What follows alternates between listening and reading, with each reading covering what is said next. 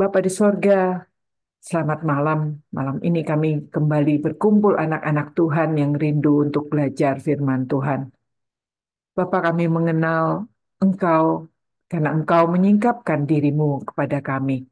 Dan kami menyadari betapa terbatasnya pengenalan kami jika Tuhan tidak menolong kami. Bapak di sorga, terima kasih. Ketika kami merenungkan hidup kami di ujung tahun ini, ketika kami melihat kami sering sekali jatuh di dalam pencobaan dan hampir hilang tujuan arah hidup kami. Tetapi Engkau tidak meninggalkan kami. Tuhan Yesus, Engkau memperhatikan kami. Kehidupan setiap kami tidak luput dari perhatian Tuhan. Dan tidak ada satu tetes air mata yang Tuhan tidak tahu. Bapa di sorga, terima kasih. Kebaikanmu itu mengharukan kami, menggetarkan kami. Bapa di sorga, anugerahkan kami rasa hormat itu untuk menyegani Tuhan, untuk takut akan Tuhan, dan tidak bermain-main untuk setiap kesempatan yang Tuhan berikan kepada kami. Bapak di sorga ini kami malam ini ingin belajar firman Tuhan. Tuhan menolong setiap kami. Dan kami berdoa Tuhan juga menguduskan hati pikiran kami agar siap di dalam belajar. Juga Tuhan kami minta tolong juga menguduskan semua fasilitas yang kami pakai. Agar boleh itu digunakan untuk memuliakan Tuhan. Terima kasih Bapak. Ini kami anak-anak Tuhan yang berharap dan memohon semua ini di dalam nama Tuhan Yesus. Amin. Selamat malam Bapak Ibu, teman-teman semua. Hari ini kita akan belajar dari 1 Samuel 14 ya. Kalau kita buka Alkitab kita, kita lihat 1 Samuel 14, ini cukup banyak ya. Cukup banyak sampai ayat 52. Tetapi uh, dengan pertolongan Tuhan kita bisa ya untuk uh, menyelesaikan ayat demi ayat pada pasal 14 ini. Baik, kita mulai ya. Kita uh, temanya malam ini adalah menggunting dalam lipatan. Nah, ini kalau um, dulu waktu saya SD saya belajar nih apa artinya menggunting dalam lipatan ya. Nah, kita tunggu saja nanti. Mungkin bagi teman-teman yang yang generasi muda, yang lebih muda dari saya mungkin tidak mengerti arti artinya ya, tapi saya yakin generasi saya dan yang mungkin yang lebih uh, senior dari saya itu kita tahu artinya menggunting dalam lipatan. Nah, minggu lalu kita belajar dari 1 Samuel 13 ujian sang pemimpin ya. Kalau Bapak Ibu buka Alkitabnya, kita ingat bahwa pasal 13 itu adalah era dimulainya raja-raja ya. Setelah para nabi berakhir, Samuel ayat eh, pasal 12 sudah selesai say goodbye dan kemudian pasal 13 ini dimulai dengan Saul yang menjadi seorang raja. Raja yang pertama Israel yang dipilih oleh Tuhan. Nah, Lalu kita melihat pada pasal 13 ini ada satu nama lain muncul diperkenalkan yaitu Yonatan. Yonatan adalah anaknya Raja Saul, anak sulungnya Raja Saul. Dan kemudian dikasih konteksnya ya. Raja Saul memulai dengan memilih 3000 tentara. Nah, ini sesuatu yang aneh ketika biasanya Tuhan yang menggerakkan pasukan untuk melengkapi seorang raja. Di sini Saul yang sudah baru menang perang melawan orang uh, Amon, gede kepala nih kelihatannya, dia memilih 3000 raja dan kemudian dibagi dua ya. 2000 ikut dia di Mikmas dan 1000 ikut sama Yonatan di Gibea. Gibea itu adalah kota asalnya uh, Saul, artinya kampung halaman Yonatan juga ya. Nah, tetapi Yonatan walaupun dia masih muda, dia tinggal di Gibea, kampung halamannya, dan pasukannya cuma separuh pasukan Saul, dia berani berinisiatif menyerbu pangkalan militernya uh, Filistin yang ada di Geba ya. Nah, di sini menunjukkan bahwa sebenarnya Yonatan itu mengerti panggilannya. Dia ini anak raja dia tahu Saul itu diutus, dipilih Tuhan jadi raja dengan satu misi untuk menyelamatkan orang Israel dari tangan Filistin. Nah, tentunya kalau itu menjadi misi bapaknya, itu justru menjadi misi dia juga sebagai anak Yonatan ya. Sehingga di sini kita melihat bahwa Yonatan itu benar-benar menghidupi panggilannya dan dia kita tahu dalam aplikasinya adalah orang tidak ada alasan bagi kita bukan karena kita muda, bukan karena kita hidupnya nyaman, bukan karena uh, kita ya lemah begitu ya pasukan kita sedikit tidak ada alasan sebenarnya kita tidak ber, berperang dengan dosa kita. Nah ini yang dicontohin sama Yonatan ya muda di kampung halamannya pasukannya sedikit tetapi dia berperang untuk um, uh, mengalahkan Filistin. Nah dan dia menang. Tuhan memberikan dia kemenangan. Nah Saul begitu mendengar Yonatan itu menang, dia ingin istilahnya ride the wave ya, ombak lagi tinggi nih, wah bagus nih ya. Jadi dia menyuruh orang meniup terompet untuk menyatakan kemenangan Israel ini. Tetapi Saul memutarbalikkan isi dari pesan itu karena dia sangat ingin mendapatkan kredit itu ya. Jadi ketika ditiup trompet itu orang Israel yang mendengarkan itu merasakan wah Saul yang berjasa ya siapa dulu bapaknya bukan Yonatan. Jadi uh, uh, kemenangan itu diketahui oleh semua orang dan itu bikin ini seperti iklan begitu ya dan jelas itu membuat Filistin marah besar. Karena Filistin itu jualan senja, jualan alat pertanian kepada orang-orang Israel. Orang-orang Israel itu customernya Filistin nih ya. Tetapi sekarang orang Filist, orang Israel itu seperti mengkhianati si penjual ya, mengkhianati si Filistin ini dan bagi orang Filistin yang uh, menyuplai semua alat pertaniannya uh, Israel, orang Israel ini menjadi sangat menjijikkan di mata Filistin.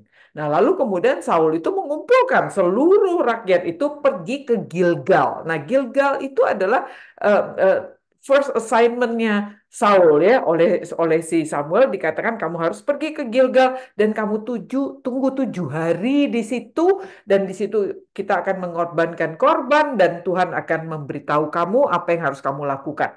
Nah, Saul senang sama sama perintah ini ya karena dia lagi mau bersiap-siap menyerang menggempur Filistin setelah kemenangan Yonatan ini ya. Dan di sini yang kita bilang cocokologi ya. Ini persis seperti kita dalam aplikasi hidup kita orang-orang yang memilih ayat-ayat tertentu yang dijadiin ayat emas tanpa mengerti sebenarnya konteks dari ayat itu. Nah ini yang diambil sama Saul. Kalau kalau perintah Tuhan itu cocok sama dirinya dan itu lagi dibutuhkan dia, oh dia mau. Tapi kalau perintah Tuhan itu enggak sesuai dengan seleranya, dia enggak mau lakukan ya. Jadi uh, uh, inilah si Saul ini ya. Dia tidak dia uh, apa? Dia mengambil kemenangannya si Yonatan mengakusisi kemenangannya uh, Yonatan dan mengakuinya sebagai miliknya begitu.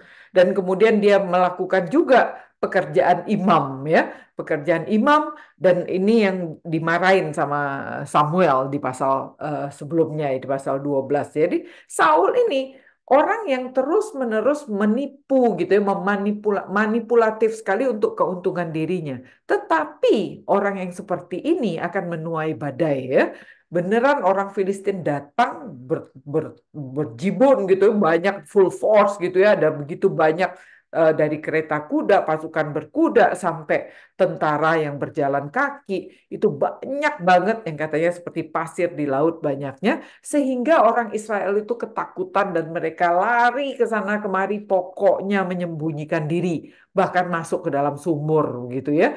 Nah, di situ mestinya di Gilgal ini Samuel sudah bilang sama Saul, tunggu tujuh hari ya kesabaran itu, waktu itu, Tuhan sering memakai waktu untuk menguji kesabaran kita. Karena kesabaran itu bisa menghasilkan ketekunan dan ketekunan itu menghasilkan daya tahan. Nah, tetapi di sini Saul nggak sabar, ya. Dia bilang bawa sini korban. Samuel hari ketujuh nggak juga nongol, nggak bisa. Pokoknya sekarang juga korbannya kita korbankan. Aku mau tanya Tuhan supaya Tuhan bisa memberkati aku, ya. Minta belas kasihan Tuhan dan dia melanggar otoritas Nabi melanggar otoritas imam. Dia suka-sukanya sendiri. Dia adalah raja, pemimpin sipil. Tidak seharusnya dia melakukan tugas nabi. Tapi bodoh amat dia melakukannya dan membela dirinya. Dan beneran ketika dia sedang melakukan itu setelah mengorbankan korban bakaran, Samuel muncul gitu ya. Nabi Samuel muncul dan Nabi Samuel bilang, apa yang sedang kau lakukan? Dan Saul gagal ya e, dalam ujian pemimpin ini. Dua kali dia gagal. Nomor satu, dia gagal di dalam konteks keluarga Eh, dia mengambil uh, prestasinya Yonatan. Dan yang kedua dia gagal lagi di Gilgal ini ya di mana dia seharusnya mau menunggu Samuel dan tahu di mana posisinya ya. Lalu Samuel bilang bahwa Tuhan sudah meninggalkan engkau Tuhan sudah menolak engkau dan Tuhan sedang menyiapkan seseorang yang berkenan di dalam hatinya. Dan Tuhan itu adalah orang yang mengenal hati. Jadi kali ini benar-benar sebuah kontras ya. Saul adalah orang yang dipilih oleh Tuhan tetapi menurut keinginan hati rakyat. Ya, Tuhan itu hanya mewujudkan keinginan hati rakyat dengan memilih Saul. Nah, nantinya Tuhan sedang mempersiapkan seseorang yang berkenan di hatinya, yang yang benar-benar raja yang dia inginkan, yaitu Daud ya. Nah, dalam hal ini ketika Samuel ngomong begitu tuh ya di pasal 13 ini, Daud mungkin belum belum belum lahir karena nantinya Saul itu memerintah 40 tahun ya dan dan Daud ketika Saul selesai memerintah usianya baru 30 tahun. Nah, sehingga perlu 10 tahun dulu Saul memerintah baru Daud lahir kan begitu. Nah, ini kejadian ini adalah di awal pemerintahan Saul. Jadi waktu itu Daud belum ada di kandungan ibu bahkan.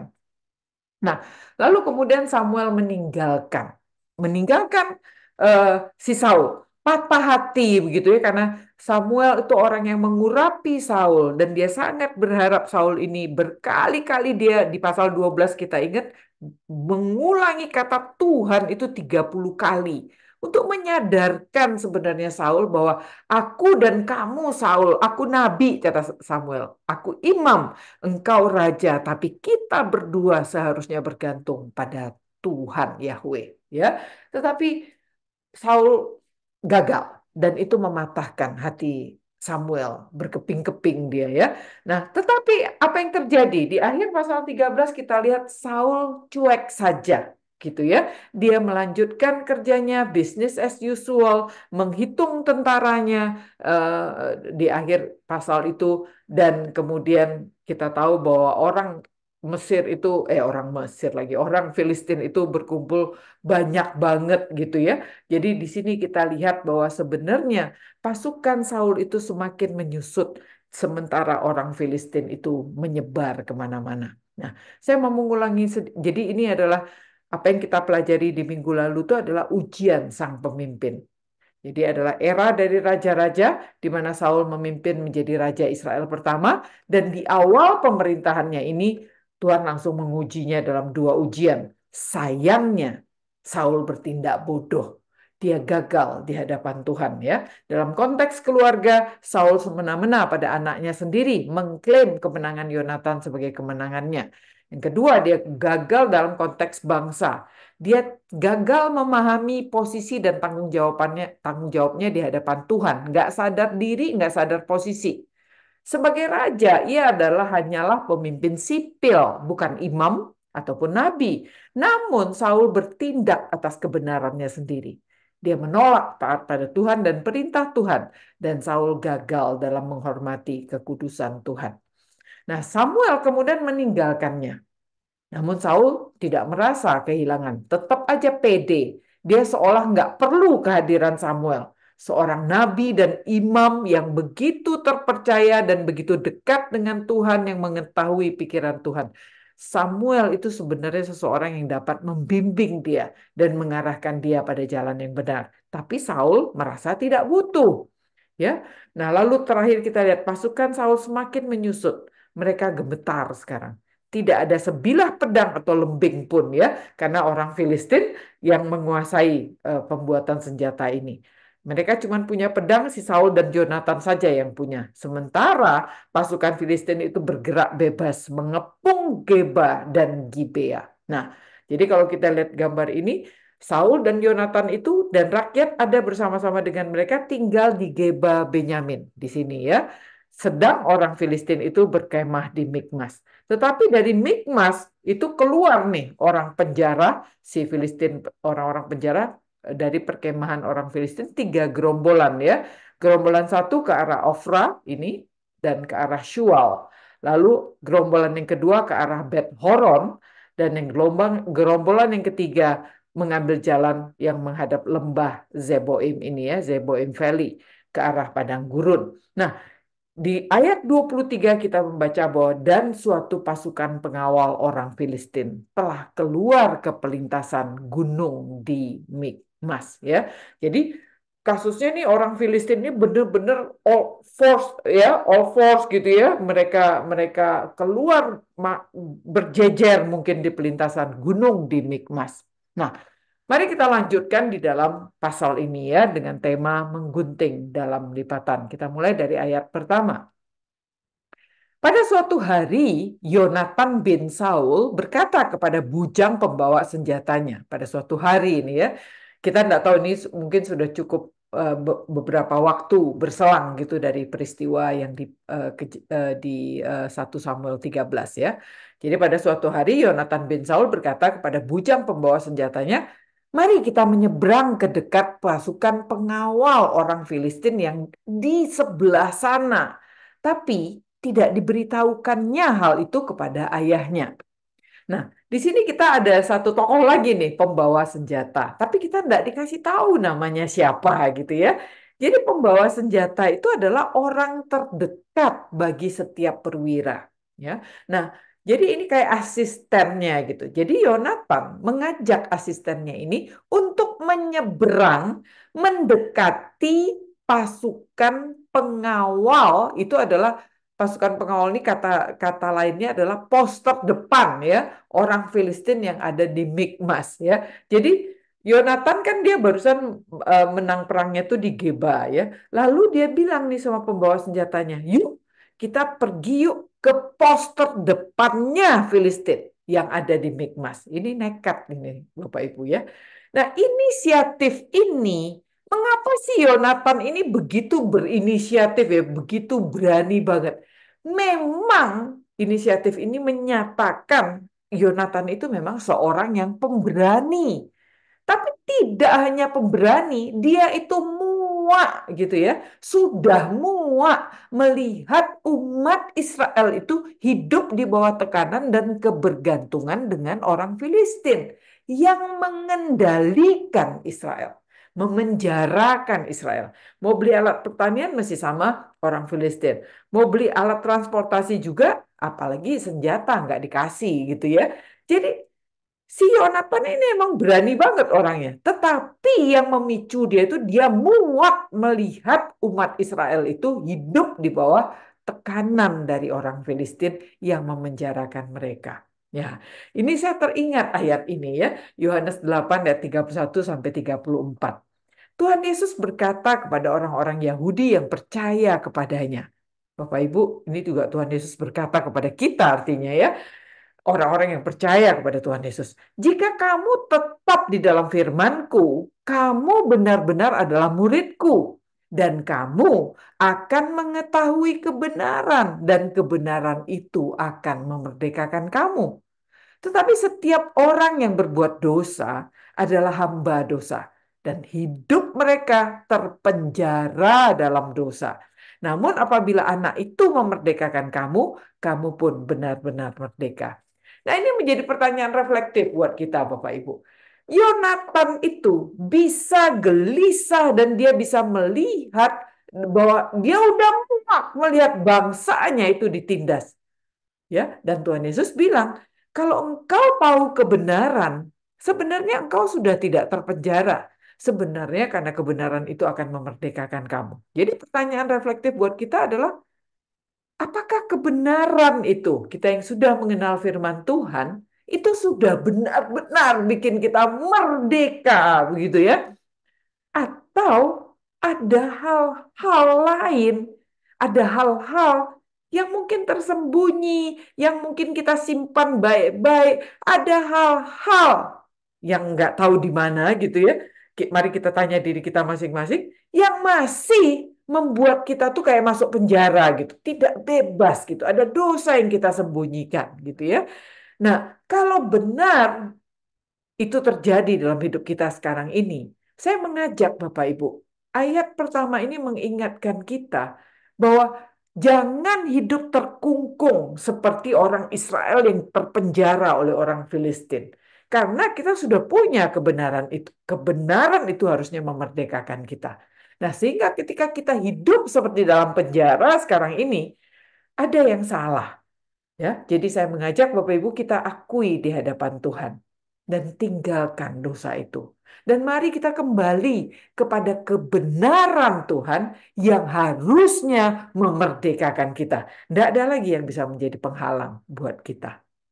Ya, nah Lalu kita lihat di sini ya bahwa orang Filistin ini sangat memenjara orang Israel. Lalu kita baca di atas bahwa Yonatan melakukan me, me, me, me, berinisiatif untuk ide pergi ke Filistin ini, tetapi Yonatan tidak merasa perlu memberitahu kepada ayahnya.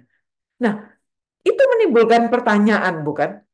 Mengapa ya Yonatan merasa perlu menyembunyikan rencananya ini dari ayahnya kalau begitu? Nah, mari kita lihat. Saul, ayah Yonatan, itu adalah orang yang dipilih dan dipanggil Tuhan menjadi raja atas Israel, bukan? Dan Tuhan memberi dia misi si Saul ini untuk menyelamatkan umat Israel dari Filistin. Itu kita bisa baca di 1 Samuel 9 ayat 16b ya.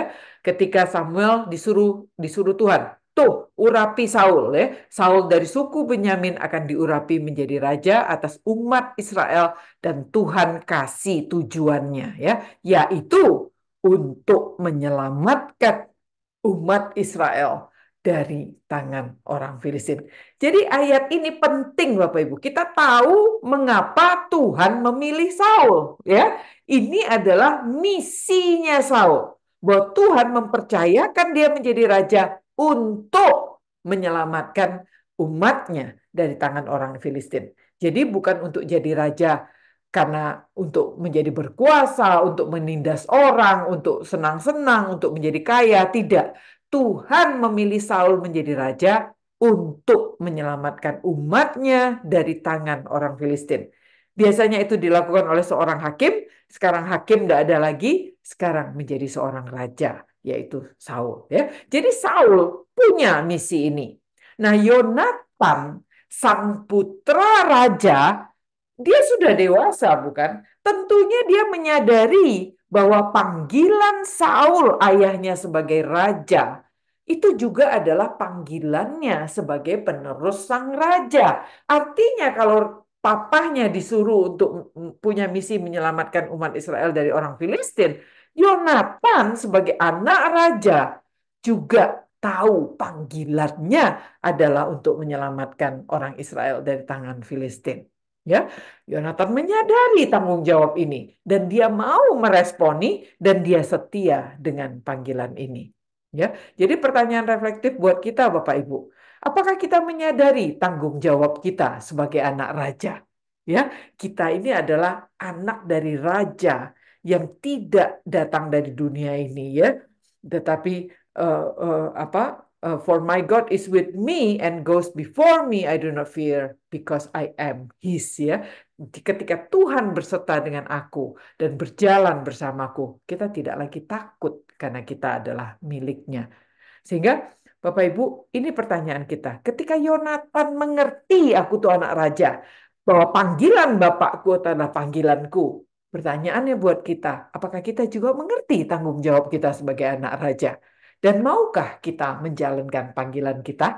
Karena Yesus bilang sama kita, pergilah jadikan semua bangsa muridku dan baptislah mereka dalam nama Bapa dan Anak dan Roh Kudus dan ajarlah mereka melakukan segala yang telah kuperintahkan kepadamu.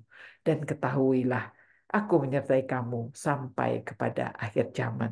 Jadi kalau kita tahu kita anak raja, maukah kita menjalani panggilannya? Nah, ini menjadi pertanyaan reflektif kita di akhir tahun ini ya. Nah, lalu jadi Yonatan sudah mengerti dan dia mau meresponi panggilan ini. Namun, Yonatan itu juga menyadari karena dia bukan anak kecil lagi ya. Dia menyadari sifat dan gaya ayahnya itu agak bertolak belakang dengan sifat dan gayanya dia ya maka Yonatan merasa perlu menyembunyikan rencananya dari sang ayah karena kalau dia kasih tahu ayahnya pasti tidak akan merestui gitu ya. Gaya Yonatan si pemberani ini dan agak nekat ini itu sangat bertolak belakang dengan gaya Saul yang cari aman melulu begitu ya. Nah jadi ayat pertama ini mengatakan eh, penulis mengatakan bahwa Yonatan bin Saul dan bujangnya itu bersiap-siap mau pergi ke dekat uh, menghadapi uh, orang Filistin di pos terdepannya Filistin ya dan dia menyembunyikan dari ayahnya ayat 2 Adapun Saul duduk di ujung Gibea, di bawah pohon delima yang di Migron. Dan rakyat yang ada bersama-sama dengan dia itu kira-kira 600 orang banyaknya. Nah, ingat ya, perintah Tuhan pada Saul melalui Samuel adalah Saul tugasmu adalah menyelamatkan orang Israel dari orang Filistin. Nah, sehingga ketika penulis menaruh nih ayat 1 dan 2, jadi pada ayat ayat 1 dan 2 ini dijejer ya. Penulis ini sedang menyajikan satu kontras antara pribadi Yonatan dan Saul. Makanya dijejer. Yonatan dulu, lalu ada pun gitu ya. Jadi kita lihat yang pertama, Yonatan. Yonatan itu taat pada perintah Tuhan yang ditujukan sebenarnya kepada ayahnya. Ya, jadi pesan Tuhan itu kepada Saul, tetapi Yonatan itu taat pada perintah Tuhan yang ditujukan kepada ayahnya. Dia sebagai anak itu turut terbeban dan ia mau menjalankan panggilannya ini dan mendukung ayahnya membebaskan Israel dari Filistin. Ya, satu, dia berinisiatif terus ya. Kita udah lihat dia menyerang uh, Filistin yang pertama ya di Geba. Sekarang dia mau menyerang Filistin lagi di Mikmas kali ini ya, berdua doang gitu ya. Dia terus berinisiatif dan terus berupaya melakukan panggilannya. Yang kedua, dia berani untuk bertindak. Ini dia nyebrang loh, dia yang mendekati musuh. Dan yang ketiga, dia punya nyali Walaupun dia cuma berdua sama pembawa senjatanya saja, cuma berdua. Dan ini ingat anak-anak muda ya. Nah, kita bandingkan dengan Saul. Ini tujuannya. Kenapa penulis taruh Yonatan terus taruh Saul gitu ya. Jadi si Saul kita lihat dia tidak taat pada perintah Tuhan, dia hanya mikirin keselamatan dirinya sendiri dan dia menolak menjalankan panggilannya. Saul nomor satu kita tahu dia telah semena-mena mengakusisi prestasi Yonatan dan dia sudah melangkahi otoritas imam dengan mempersembahkan korban. Lalu nggak pakai merasa bersalah. Ya, Saul meneruskan hidupnya dengan tenang meski berulang kali dia sudah gagal menjalankan panggilannya. Yang sekarang nih, coba perhatikan penulis-menulisnya ia berada di ujung Gibea. Jadi penulis menulis itu di ujung. Jadi di kota, di kampung halamannya, tapi di ujung gitu. Artinya kalau kita lihat di peta nih ya, kalau saya membayangkan Gibea dia di ujung sini, artinya dia paling jauh dari Mikmas ya, dari musuhnya si Filistin kan ada di ada di Mikmas ya. Jadi Saul ini sebenarnya paling jauh nih dari Mikmas. Dia nggak mau deket-deket Mikmas. Dia mencari tempat paling aman, jauh-jauh dari Mikmas. Nah, lalu dikatakan ditulis oleh penulis bahwa dia berada di bawah pohon delima. Coba. Nah, ini adalah perlambang Bapak Ibu ya. Jadi di zaman itu kalau seseorang duduk di bawah pohon delima itu melambangkan pohon delima itu melambangkan kemenangan. Artinya Saul itu merasa dia ini orang yang berjasa gede banget gitu ya. Walaupun ini hasil nyolong aja nih kemenangannya itu ya. Jadi dia merasa berjasa besar dan dia merasa berhak merayakan kemenangan-kemenangan yang dia akui sebagai prestasinya ya, bukan prestasi anaknya, tapi prestasi dia. Dia lagi happy-happy nih, lagi merayakan kemenangan. Dan kita lihat di sini, penulis bilang di bersama-sama dia ada 600 orang bodyguardsnya. Nah, perhatikan di sini Bapak Ibu. Jadi penulis ini sedang membandingkan Yonatan yang muda tapi bela-belain ingin menjalankan panggilan ayahnya nih ya untuk membebaskan Israel dari Filistin sangat punya nyali sementara bapaknya Saul enak-enak duduk paling jauh dari Mikmas di ujung Gibea duduknya di bawah pohon delima dikawal 600 orang pula ya jadi kita bisa lihat ya bagaimana penulis berusaha mengkontraskan dua orang ini nah jadi aplikasi dalam hidup kita apa Bapak Ibu? Coba kita perhatikan ya. Saul tuh, dia kan sudah merasa menang dari perangnya gitu ya. Nah, apa aplikasi dalam hidup kita? Banyak loh di antara kita ya, banyak orang kayak Saul itu ya, yang telah, merasa telah berperang melawan dosa dan menang gitu ya. Lalu merasa hebat dan kuat, bangga dengan diri kita, dan lupa mengucap syukur dan tidak menyadari sebenarnya ada tangan Tuhan yang menolong kita. Dan ada orang-orang yang Tuhan pakai untuk menolong kita. Ya, Jadi kalau kita sudah lepas dari satu dosa yang begitu menjerat kita, wah kita tuh suka gede kepala. Wah hebat gue berhasil nggak ngerokok. Oh, aku hebat banget. Kali ini berhasil berpu apa menahan nafsu dengan berpuasa 60 hari misalnya gitu ya. Kita merasa kita sudah menang perang gitu, merasa hebat gitu. Dan kita tidak sadar sebenarnya ada tangan Tuhan yang menolong kita. Ya, sampai kita bisa berhenti merokok, sampai kita misalnya berhenti untuk tidak nonton film porno lagi misalnya, atau kita berhenti untuk tidak terikat pada sosial media misalnya. Ada tangan Tuhan yang menolong. Ada orang-orang yang Tuhan pakai menjadi konselor kita, menjadi mentor kita, menjadi sahabat kita yang mengingatkan kita. Ya, tetapi banyak orang lupa dan merasa dirinya hebat. Nah, orang yang merasa hebat dan bangga dengan dirinya ini sebenarnya hidup dalam ketenangan dan keamanan yang palsu. Ya. Jadi mereka merasa aku sudah lulus nih dari dosa aku dan dia merasa tidak merasa perlu untuk berperang mematikan dosa lagi. Udah lewat. Gue udah gue udah nggak nggak ngerokok lagi, aman dah, nggak bakal merokok lagi seumur hidup kan begitu ya. Merasa sudah hebat dan merasa tenang, aman. Gue udah nggak tertarik lu mau merokok depan gue, udah nggak. Wah gede kepala gitu ya. Dan tidak merasa perlu berperang mematikan dosa lagi. Mereka memilih hidup dalam kenangan toh aku sudah menang. Dan sibuk merayakan kemenangan-kemenangan dosa di masa lalu ini dan menolak berperang dan seperti dan hidup seperti Saul. Pura-pura nggak tahu bahwa Filistin itu sedang mengelilingi dia dan siap menjatuhkan mereka kembali. Ya, nah inilah si Saul. Dia duduk di ujung Gibea di bawah pohon delima dengan 600 orang dia enggak. Dia pura-pura enggak tahu Filistin itu udah menyebar ke kiri, ke kanan, ke atas, ke bawah, mengepung Geba dan Gibea itu. Ya, peringatan buat kita. Kemenangan atas satu dosa. Kalau kita sudah menang atas satu dosa, seharusnya membuat kita nomor satu ucap syukur atas pertolongan Tuhan. Akhirnya Tuhan menolong, menguatkan aku dan aku akhirnya bisa lepas dari dosa itu. Tetaplah rendah hati dan sadar kita itu darah dan daging kejatuhan kita itu total Bapak Ibu Saudaraku ya.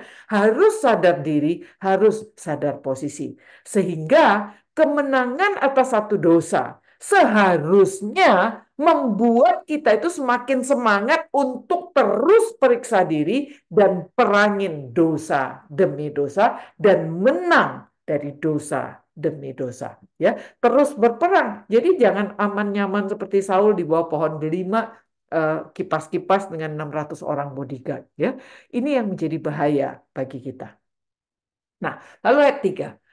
Ahia, anak Ahitub, saudara Ikabot, anak Pinehas, anak Eli, imam Tuhan di Silo. Dialah yang memakai baju efod pada waktu itu. Nah, di sini penulis kembali merujuk kepada keluarga Imam Eli, Bapak Ibu ya. Imam Eli itu terakhir disebut di pasal 4 ya.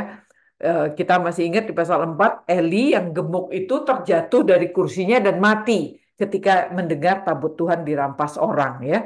Jadi karena Samuel telah meninggalkan Saul, kita udah tahu di akhir pasal 13 Samuel meninggalkan Saul bukan? Maka Saul sekarang mencari imam lain dan dia dalam hal ini memanggil Ahia. Ya, Ahia itu adalah anaknya Ahitub. Ya. Nah, Ahia ini nama ini artinya saudaranya Tuhan. Dari Ahitub yang artinya saudaranya kebaikan. Ini nama bagus-bagus ya, yang artinya keren-keren nih. Nah, si Ahia ini adalah keponakannya Ikabot. Ingat ya, Ikabot itu anaknya Pinehas yang uh, uh, dilahirkan istrinya tuh dan istrinya meninggal ketika uh, Pinehas juga meninggal pada hari itu ya. Dan makanya namanya Ikabot kemuliaan telah lenyap. Ingat itu di, di Samuel pasal 4 ya, 1 Samuel pasal 4. Anak Pinehas, anak Imam Eli. Jadi di sini Bapak Ibu kita lihat apa yang si penulis sedang catat di sini adalah dia ingin menunjukkan Ahia si imam ini berasal dari keluarga imam yang sudah ditolak Tuhan. Gitu ya. Kan kita tahu ya Eli kan sudah ditolak Tuhan kan? Tuhan udah bilang nggak nggak mau lagi ya. Itu ada di 1 Samuel 2 di sini dilihat eh, Bapak Ibu bisa baca sendiri nanti ya. Sebab itu Tuhan akan mematahkan tangan keluarga kekuatan Eli dan keturunannya sehingga tidak ada lagi seorang kakek dalam keluargamu. Itu adalah kutukan Tuhan untuk Eli. Makanya ketika Eli meninggal pada hari itu hari itu juga menantunya melahirkan ya. Sehingga betul tidak ada kakek dalam keluarga Eli. Nah, Eli itu dikutuk sama Tuhan karena dia tidak dia dia menyayang sayang sayang sama anaknya dan anak-anaknya itu sudah berbuat kekejian dan kejahatan di mata Tuhan ya lalu um, kita baca juga di 1 Samuel 3 13 sebab itu Tuhan telah bersumpah bahwa dosa keluarga Eli tidak akan dihapus dengan korban sembelian atau korban sajian untuk selamanya. Jadi Tuhan menghukum keluarga Eli. Nah, di sini kita lihat ya, si da, si Saul justru mencari Ahia, imam yang berasal dari keluarga imam yang ditolak. Di sini ketika saya melihat nama-nama ini ya Bapak Ibu ya, Ahia namanya bagus, artinya saudaranya Tuhan, Ahitub juga artinya bagus, saudaranya kebaikan. Di sini kita lihat bahwa sebenarnya dalam keluarga yang udah tidak karuan pun, mereka bisa-bisa saja bersembunyi di balik nama yang demikian kristiani gitu ya, tapi sebenarnya tidak. Mereka adalah orang-orang yang ditolak Tuhan. Nah, sehingga kita lihat juga bahwa Saul juga adalah orang yang telah ditolak Tuhan, bukan? Ya, kita baca ketika Samuel marah sama Saul, perbuatanmu itu bodoh, engkau tidak mengikuti Tuhan, Tuhanmu yang diperintahkannya kepadamu. Tadinya Tuhan akan mengokohkan kerajaanmu untuk orang Israel selama-lamanya, tetapi sekarang kerajaanmu tidak akan tetap ya, dan Tuhan telah memilih seseorang yang lain karena engkau Saul tidak mengikuti apa yang diperintahkan Tuhan kepadamu. Jadi sekarang si Saul ada bersama-sama dengan Ahia. Kedua-duanya adalah orang-orang yang telah ditolak Tuhan. Ya, lalu pada ayat B kita tahu, tetapi tidak seorang pun dari mereka tahu tentang perginya Yonatan itu. Jadi Yonatan sudah pergi, mereka tidak tahu gitu ya. Jadi aplikasi dalam hidup kita apa? Orang-orang yang ditolak Tuhan itu cenderung berkumpulnya ya bersama-sama dengan orang-orang yang ditolak Tuhan. Mereka memilih nih hidup di kenangan masa lalu. Hidup berpura-pura dan mereka senang di dalam kepalsuan-kepalsuan yang mereka hidupi begitu ya kekayaannya lah, merasa bahagia keluar negeri melulu, jalan-jalan misalnya begitu ya. Hidup dalam kebahagiaan yang palsu sebenarnya. Lalu mereka melupakan panggilan mereka dan mereka cuek, nggak peduli sama orang-orang yang masih taat menjalankan panggilannya. Jadi Saul dan Samuel, eh, Saul dan eh, Ahia nggak tahu Yonatan itu sudah tidak ada di tempat ya. Jadi cuek karena mereka sibuk dengan diri mereka sendiri. Nah, ini dia Bapak Ibu ya. Jadi saya teringat lagi dengan ayat ini dari Mazmur 1 ayat 1. Berbahagialah orang yang tidak berjalan menurut nasihat orang fasik. Orang fasik itu adalah orang yang merasa benar dengan dirinya, suka ngomong gitu dan mengandalkan dirinya sendiri. Nah, di Pemasmur mengatakan berbahagialah orang yang tidak berjalan menurut nasihat orang yang merasa benar dan mengandalkan dirinya sendiri. Ya, Berbahagialah orang yang tidak berdiri di jalan orang berdosa. Artinya orang itu tidak berdiri bersama-sama dengan orang-orang yang menolak Tuhan dan orang-orang yang tidak mau taat perintah Tuhan. Dan berbahagialah orang yang tidak duduk dalam kumpulan pencemooh. Pencemooh itu adalah orang-orang yang hanya berfokus pada dirinya sendiri dan dia me, uh, merendahkan kerjanya itu merendahkan orang lain ya. Jadi berbahagialah kita kalau kita tidak berduduk dalam tidak berjalan dalam nah tidak berjalan menurut nasihat orang fasik tidak berdiri di jalan orang benar dan tidak duduk dalam kumpulan pencemooh nah ayat 4 di antara pelintasan-pelintasan bukit yang dicoba Yonatan menyeberanginya ke arah pasukan pengawal, ya itu pos terdepan tadi orang Filistin, ada ujung bukit batu di sebelah sini dan ada ujung bukit batu di sebelah sana. Yang satu bernama Boses, yang lain bernama Sene. Nah ini lucu ya Bapak Ibu ya. Ada ujung bukit batu yang dikasih nama gitu namanya Boses dan Sene. Nah lalu yang satu berdiri di sebelah utara di tentangan Mikmas, yang lain berada di sebelah selatan di tentangan Geba. Nah, jadi kenapa dikasih nama? Harusnya itu signifikan gitu ya. Boses itu artinya berkilau. Sehingga ini diduga adalah bukit batu yang begitu uh, mungkin licin licin mungkin ya dan dan uh, uh, apa itu glossy gitu ya, mengkilau. Nah ya, sehingga bukit batu itu memantulkan sinar matahari dengan sangat menyilaukan. Nah, Boses ini menghadap ke selatan dekat dengan perkemahan Filistin di Mikmas. Jadi ini kalau kita datang ke sana, kita nyaris nggak bisa lihat gitu, saking silaunya karena Bukit Batu itu demikian mengkilap gitu ya. Jadi memantulkan matahari dengan sangat silau. Nah, yang kedua namanya Sene. Sene itu artinya berduri. Jadi ini adalah bukit batu yang penuh dengan tebing cadas yang tajam. Ya, dan Sene ini menghadap ke utara dan lebih dekat ke Geba. Ya, jadi uh, artinya Yonatan ini, ini medan yang akan dilalui Yonatan itu sangatlah sulit ya. Nomor satu silau, sulit untuk melihat dengan jelas. Dan yang kedua, dia harus mendaki bukit batu yang penuh dengan batu cadas yang tajam. Jadi ini suatu kondisi yang betul-betul sangat mengerikan begitu ya.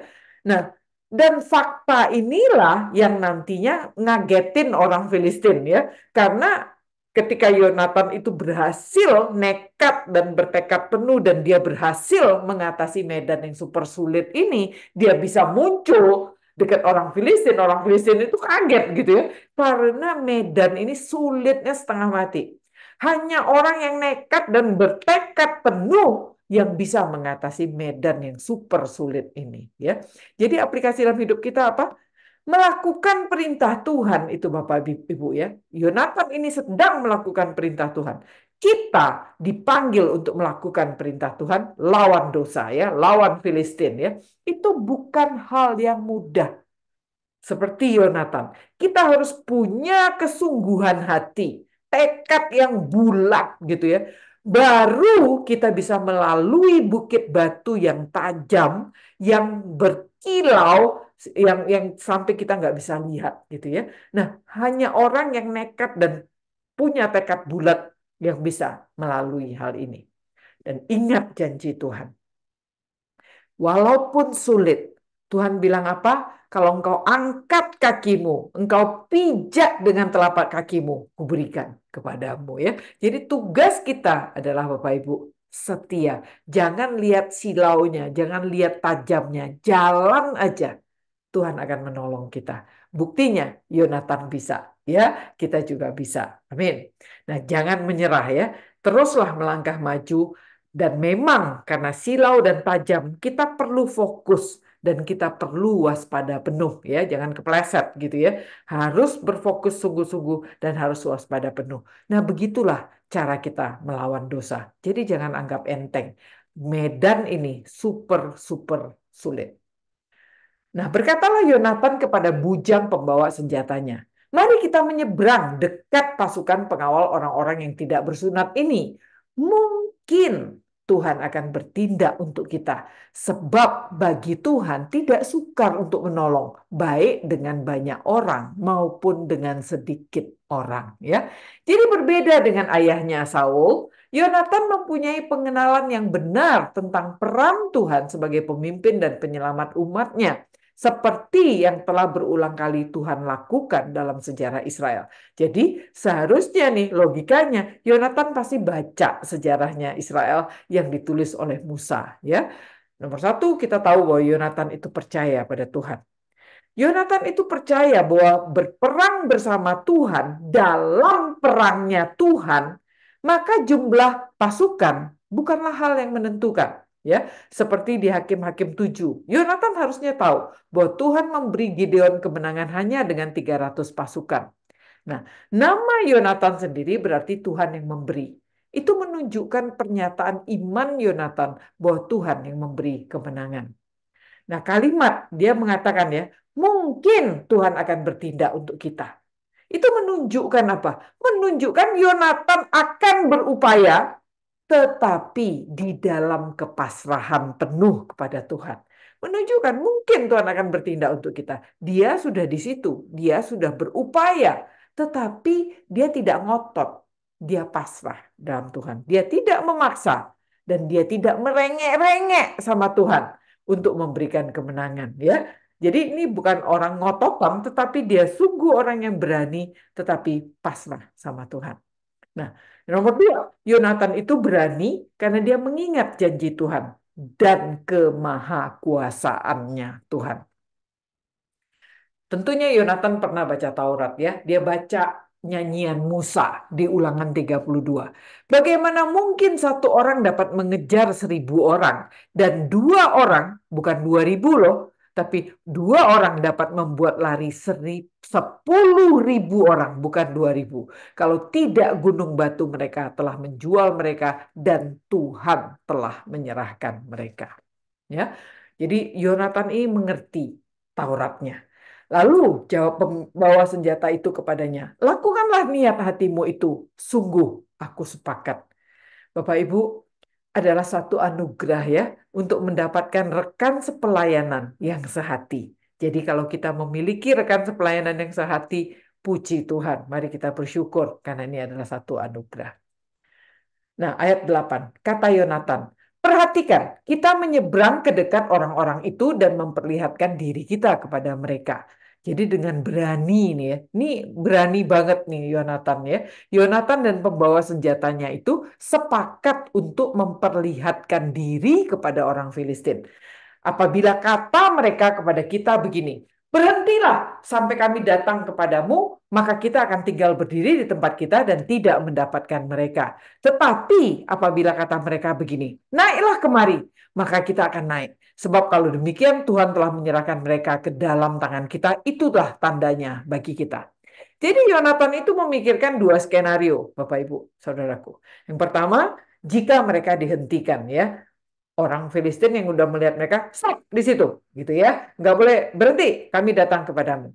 Artinya kalau mereka dihentikan, orang Filistin tidak percaya dan tentunya menganggap mereka berbahaya, makanya disuruh stop di tempat ya. Orang Filistin akan datang kepada mereka tentunya dalam jumlah yang besar dan bersenjata lengkap. Jelas kondisi ini akan berbahaya bagi Yonatan yang hanya berdua saja dengan pembawa senjatanya. Sementara mereka sedang berada di Boses dan Sene tadi ya. Mereka masih nggak bisa melihat dengan baik dan mereka sedang berada di atas bukit batu yang tajam. Nah kondisi ini pasti jelek bagi mereka. Ya, nah, dan orang Filistin akan dengan mudah mengalahkan mereka. Nah, kedua, jika orang Filistin mengundang naik. Artinya mereka tidak dianggap berbahaya, dianggap main-main gitu. Atau dimungkin, mungkin dipikir dia sebagai orang Israel yang mau berkhianat, yang mau bergabung menjadi pasukan bayarannya Filistin. Jadi kalau disuruh naik, oh ini nggak begitu berbahaya, oh ini pengkhianat semua nih mau jadi pasukan bayarannya Filistin. Nah orang Filistin ketika suruh naik tentunya menunggu mereka dengan lebih rileks dan moodnya itu menunggu ya. Maka inilah kesempatan yang baik bagi Yonatan untuk menyerang mereka yang tidak siap. Ya, makanya Yonatan bilang begitu. Nah, ketika mereka keduanya memperlihatkan diri kepada pasukan pengawal Filistin, berkatalah orang Filistin itu, "Lihat, orang-orang Ibrani keluar dari lubang-lubang tempat mereka bersembunyi." Orang-orang dari pasukan pengawal itu berseru kepada Yonatan dan pembawa senjatanya katanya, "Naiklah kemari, maka kami akan menghajar kamu." Lalu kata Yonatan kepada pembawa senjatanya, "Naiklah mengikuti aku, sebab Tuhan telah menyerahkan mereka ke dalam tangan orang Israel." Jadi, Tuhan mengizinkan skenario dua yang dipikirkan Yonatan itu terjadi. Nah, perhatikan ya, betapa Yonatan di sini percaya bahwa Tuhan itu memimpin baik pikirannya maupun tindakannya selangkah demi selangkah. Ya. Jadi Yonatan itu beda dia, ya. Dia berbeda kepercayaan Yonatan kepada Tuhan ini berbeda dengan Gideon. Kita kalau masih mengingat Gideon ya, Hakim-hakim 6, Hakim-hakim 7 Gideon itu minta tanda dulu sama Tuhan, bukan? Sampai dua kali. Ini ada bulu kan dia dia, dia taruh. Kalau bulunya itu penuh air, tanahnya kering, oh berarti memang Tuhan mengutus dia. Eh beneran begitu, masih nggak percaya. Besok taruh bulu lagi, tapi terbalik. Tanahnya yang basah, bulunya yang kering gitu kan. Baru mau maju ke medan perang. Gideon minta tanda dulu kepada Tuhan, sampai dua kali, baru mau maju ke medan perang. Yonatan itu berani maju karena dia tahu dia sedang melakukan perintah Tuhan. Dia maju dulu, baru dia menunggu arahan Tuhan selanjutnya. Ya, ini beda banget mentalitas yang berbeda. Kalau Gideon pengecut, Yonatan ini berani banget gitu ya, dan dia mau menjalankan perintah Tuhan dan tetapi dia pasrah dan dia menunggu arahan Tuhan selanjutnya. Nah, maka ketika orang orang Filistinnya bilang, ayo naik kemari. Maka naiklah Yonatan merangkak ke atas dan diikuti oleh pembawa senjatanya ya. Jadi merangkak itu Bapak Ibu bayangkan ya, itu menggunakan kaki dan tangan. Dalam NIV memang dikatakan by hands and by feet gitu ya. Jadi menggunakan kedua-dua kakinya dan kedua-dua tangannya artinya Yonatan itu mengerahkan seluruh kemampuan dan tenaganya yang ada di dalam dirinya. Jadi ini nggak bercanda nih Yonatan ya tekadnya bulat banget dan digunakan seluruh kemampuan dan tenaganya. Jadi di sini kita lihat pemimpin, dia pemimpin, dia cuma berdua. Pemimpin yang all out itu akan menjadi semangat dan teladan yang akan diikuti oleh orang yang dipimpinnya. Nah, orang-orang itu tewas terparang oleh Yonatan, sedang pembawa senjatanya membunuh mereka dari belakangnya. Ya, jadi keberanian Yonatan itu diikuti oleh sang pembawa senjata yang menuntaskan apa yang di yang dia yang sedang diparang oleh Yonatan. Jadi aplikasi dalam hidup kita apa? Banyak orang-orang yang memulai sebuah pelayanan belum tentu orang yang menuntaskannya ya. Jadi namun semangat dan keteladanan para pionir, para misionaris contohnya ya, itu perlu dijaga dan perlu diteruskan oleh orang-orang yang meneruskan dan menyelesaikan pelayanan itu. Bisa jadi setiap pelayan Tuhan itu terbatas waktunya. Belum selesai pelayanannya ketika dia sudah dipanggil Tuhan contohnya ya. Tetapi pekerjaan Tuhan akan terus berlanjut.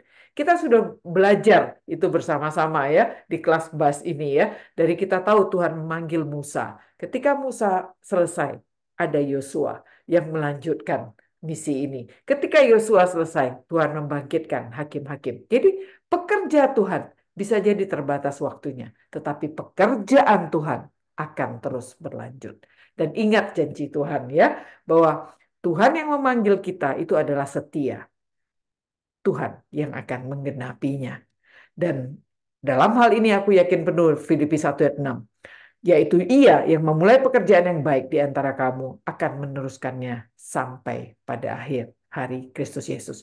Jadi kenapa sih pembawa senjata ini tidak punya nama? Sebenarnya ini juga melambangkan Roh Kudus ya, makanya dia nggak ada namanya. Jadi apa yang dilakukan uh, Yonatan yang melambangkan Kristus membuka jalan itu akan diselesaikan dengan tuntas oleh si pembawa senjata oleh Roh Kudus. Nah, kita lanjutkan. Kekalahan yang pertama ini yang ditimbulkan Yonatan dan pembawa senjatanya itu besarnya kira-kira 20 orang dalam jarak setengah alur dari sepembajakan ladang. Dalam bahasa Indonesia sehari-hari dikatakan seperempat hektar ya. Jadi ini adalah perang one on one ya, one to one jarak dekat yang sangat tidak seimbang. Ini uh, uh, itu jaraknya cuma seperempat hektar artinya uh, berapa itu ya? Uh, seperempat itu kan 25 kali 25 meter ya. Jadi kecil gitu misalnya gitu 25 dan 25 meter itu itu adalah jarak yang sangat dekat dan Yonatan dan pembawa senjatanya itu berperang dan menghabisi 20 orang. Dan ini sangat tidak imbang sebenarnya. Ada 20 orang pasukan Filistin, orang Filistin itu bertubuh besar dan bersenjata penuh versus dua orang anak muda dengan senjata yang terbatas. Ya, jadi kalau Tuhan tidak menolong kedua kedua anak muda ini, tentunya mereka tidak bisa menang, ya. Dan Tuhan menolong mereka dengan semangat yang menyala dan tenaga yang hebat, akhirnya mereka berdua ini menang. Ya, lalu timbullah kegentaran di perkemahan, di padang dan di antara seluruh rakyat juga pasukan pengawal dan penjara-penjara itu gentar dan bumi gemetar. Itulah kegentaran yang bersumber dari Tuhan ya. NIV mengatakan it was a panic sent by God ya. Itu adalah kegentaran yang Tuhan kirim. Lihat nggak betapa Tuhan hadir di situ dan menolong Yonatan ya.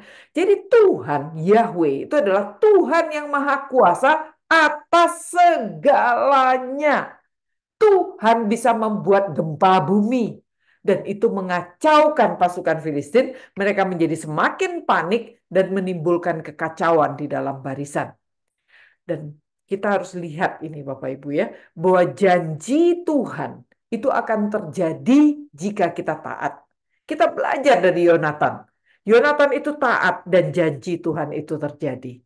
Tuhan bilang kan, satu orang bisa mengejar seribu orang dan dua orang dapat bisa membuat lari sepuluh ribu orang ya karena Tuhan yang telah menyerahkan mereka. Jadi apa yang Yonatan baca tulisannya uh, Musa ini terjadi dalam hidupnya. Dengan berdua dia bisa menghabisi 20 orang ya.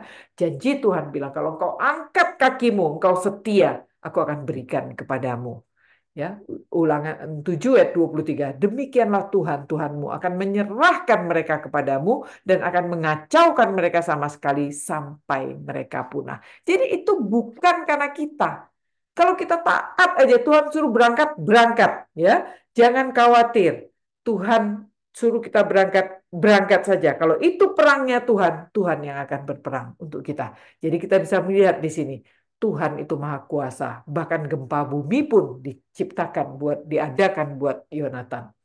Nah, ketika peninjau-peninjau dalam hal ini adalah pengintai ya, pengintainya Saul di Gibea Benyamin melihat hal itu dan sesungguhnya orang ramai seperti ombak berjalan ke sana kemari. Ingat ya, si Saul ini kan lagi di ujung Gibea nih, tapi dia punya pengintai dong di ujung satu lagi gitu ya yang melihat ke arah um, uh, Mikmas itu karena Yonatan kan menyerang orang Filistinnya di Mikmas ya. Ah, dan mereka melihat dan dia lihat, waduh, apa yang terjadi itu? Orang ramai seperti bergelombang, bergelombang kacau balau gitu, jalan ke sana kemari. Nah, berkatalah Saul kepada tentara yang bersama-sama dengan dia, periksa barisan dan lihatlah siapa yang pergi daripada kita. Mereka memeriksa barisan dan ternyata Yonatan dan pembawa senjatanya tidak ada. Nah, di sini ya. Wah, Saul ketika tahu nih ya, baru ngeh gitu. Wah ini sudah terjadi perang nih di di Filistin sana nih di di campnya pos penjaga pos terdepannya um, uh, Filistin ya dan dia lihat, waduh ini Filistin lagi kacau balau gitu. Coba periksa dan dia bingung tentunya. Waduh apa yang terjadi nih saat ini? Nah ketidaktahuan itu sangat menggelisahkan seorang yang insecure seperti Saul. Kita ingat ya, Saul itu punya karakter yang insecure. Orang yang insecure tuh nggak bisa nggak tahu. Dia akan gelisah setengah mati dan dia harus mencari tahu dan merasa perlu untuk tahu untuk bisa mengendalikan segala sesuatu. Ya. Nah, lalu kata Saul kepada Ahia, bawa baju efod itu kemari. Karena pada waktu itu Ahialah yang memakai baju efod di antara orang Israel. Jadi ketika ia mentok nih, bingung si Saul kan, ini apa yang terjadi nih? Lalu diperiksa barisan, Yonatan nggak ada dan pembawa senjatanya tidak ada. Ini apa yang terjadi? Dia tidak tahu apa-apa. Nah, ketika ia mentok, baru ia mencari petunjuk Tuhan. Dan Saul memerintahkan Ahia, ya, baju efod. Nah, baju efod itu kan kita tahu ya di bawah di belakang uh, plat emasnya itu yang yang ada 12 permata itu ada urim dan tumim ya yang batu yang bisa diambil oleh imam untuk mencari petunjuk Tuhan. Nah, di sini kita lihat bahwa Saul itu menempatkan Tuhan itu sebagai alternatif terakhirnya dia. Kalau dia masih bisa pikir, kalau dia masih bisa lakukan sesuatu suka-suka dia, dia akan lakukan sendiri. Tetapi kalau udah mentok, dia baru cari petunjuk Tuhan. Ya, saya mengutip dari uh, Thomas Houghton ini yang bilang, jangan kita membiar membuat Tuhan itu menjadi alternatif terakhir kita. Tetapi seharusnya Tuhan itu menjadi pilihan pertama kita dan hanya satu-satunya. Ya, jadi sebenarnya kita nggak punya alternatif lain. Kita harus datang kepada Tuhan dan itulah satu-satunya pilihan kita. Tidak ada yang lain. Jadi jangan berupaya berupaya sendiri, kemudian udah mentok baru cari Tuhan.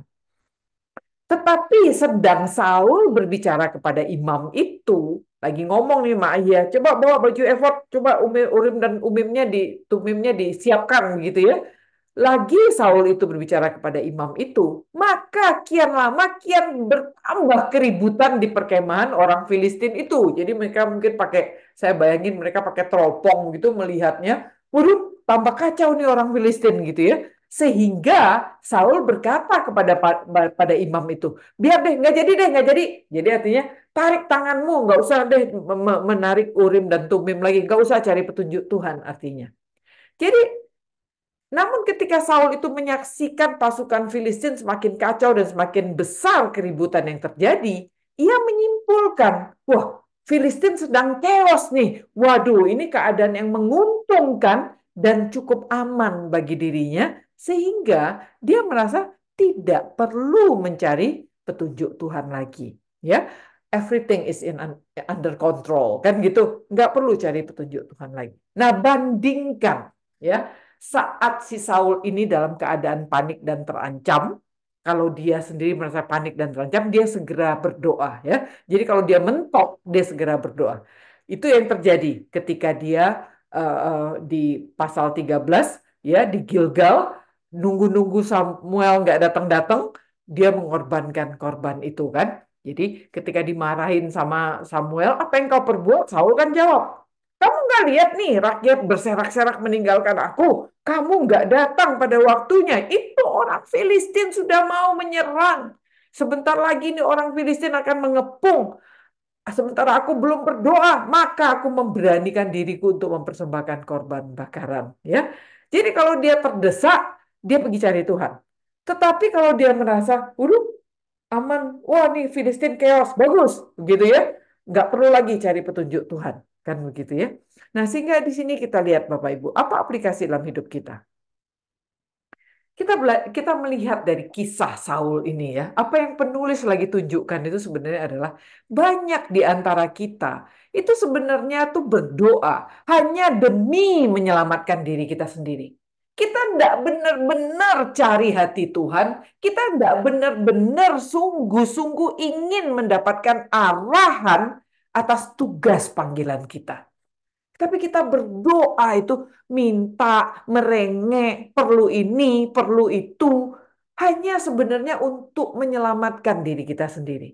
Kita tidak benar-benar mencari hati Tuhan, tidak benar-benar ingin rindu mendapatkan arahan atas tugas panggilan kita. Selalu kita bilang Tuhan untukku, Tuhan untukku, Tuhan untukku, bukan? Pertanyaan reflektif buat kita apa? Mari kita bertanya pada diri kita. Coba pikir ulang, sebenarnya apa sih tujuan kita berdoa? Dan bagaimana seharusnya kita berdoa? Saya mengajak Bapak Ibu kembali lihat di ketika kita sudah merenungkan itu di 1 Samuel 12 ya. Ketika Samuel dengan judul waktu itu kita eh, tema kita adalah doa tiada henti ya. Jadi di situ kita sudah membahas banyak tentang doa. Mari kita pikir ulang lagi apa sebenarnya tujuan kita berdoa dan bagaimana seharusnya kita itu berdoa. Tuhan untuk aku atau seharusnya aku untuk dia, untuk Tuhan. Siapa kita ini ya? Kita harus benar-benar sadar posisi dan sadar akan diri kita di mana. Jangan meniru Saul yang hanya memerlukan Tuhan saat kepepet. Saat dia merasa in control, dia lupa sama Tuhan.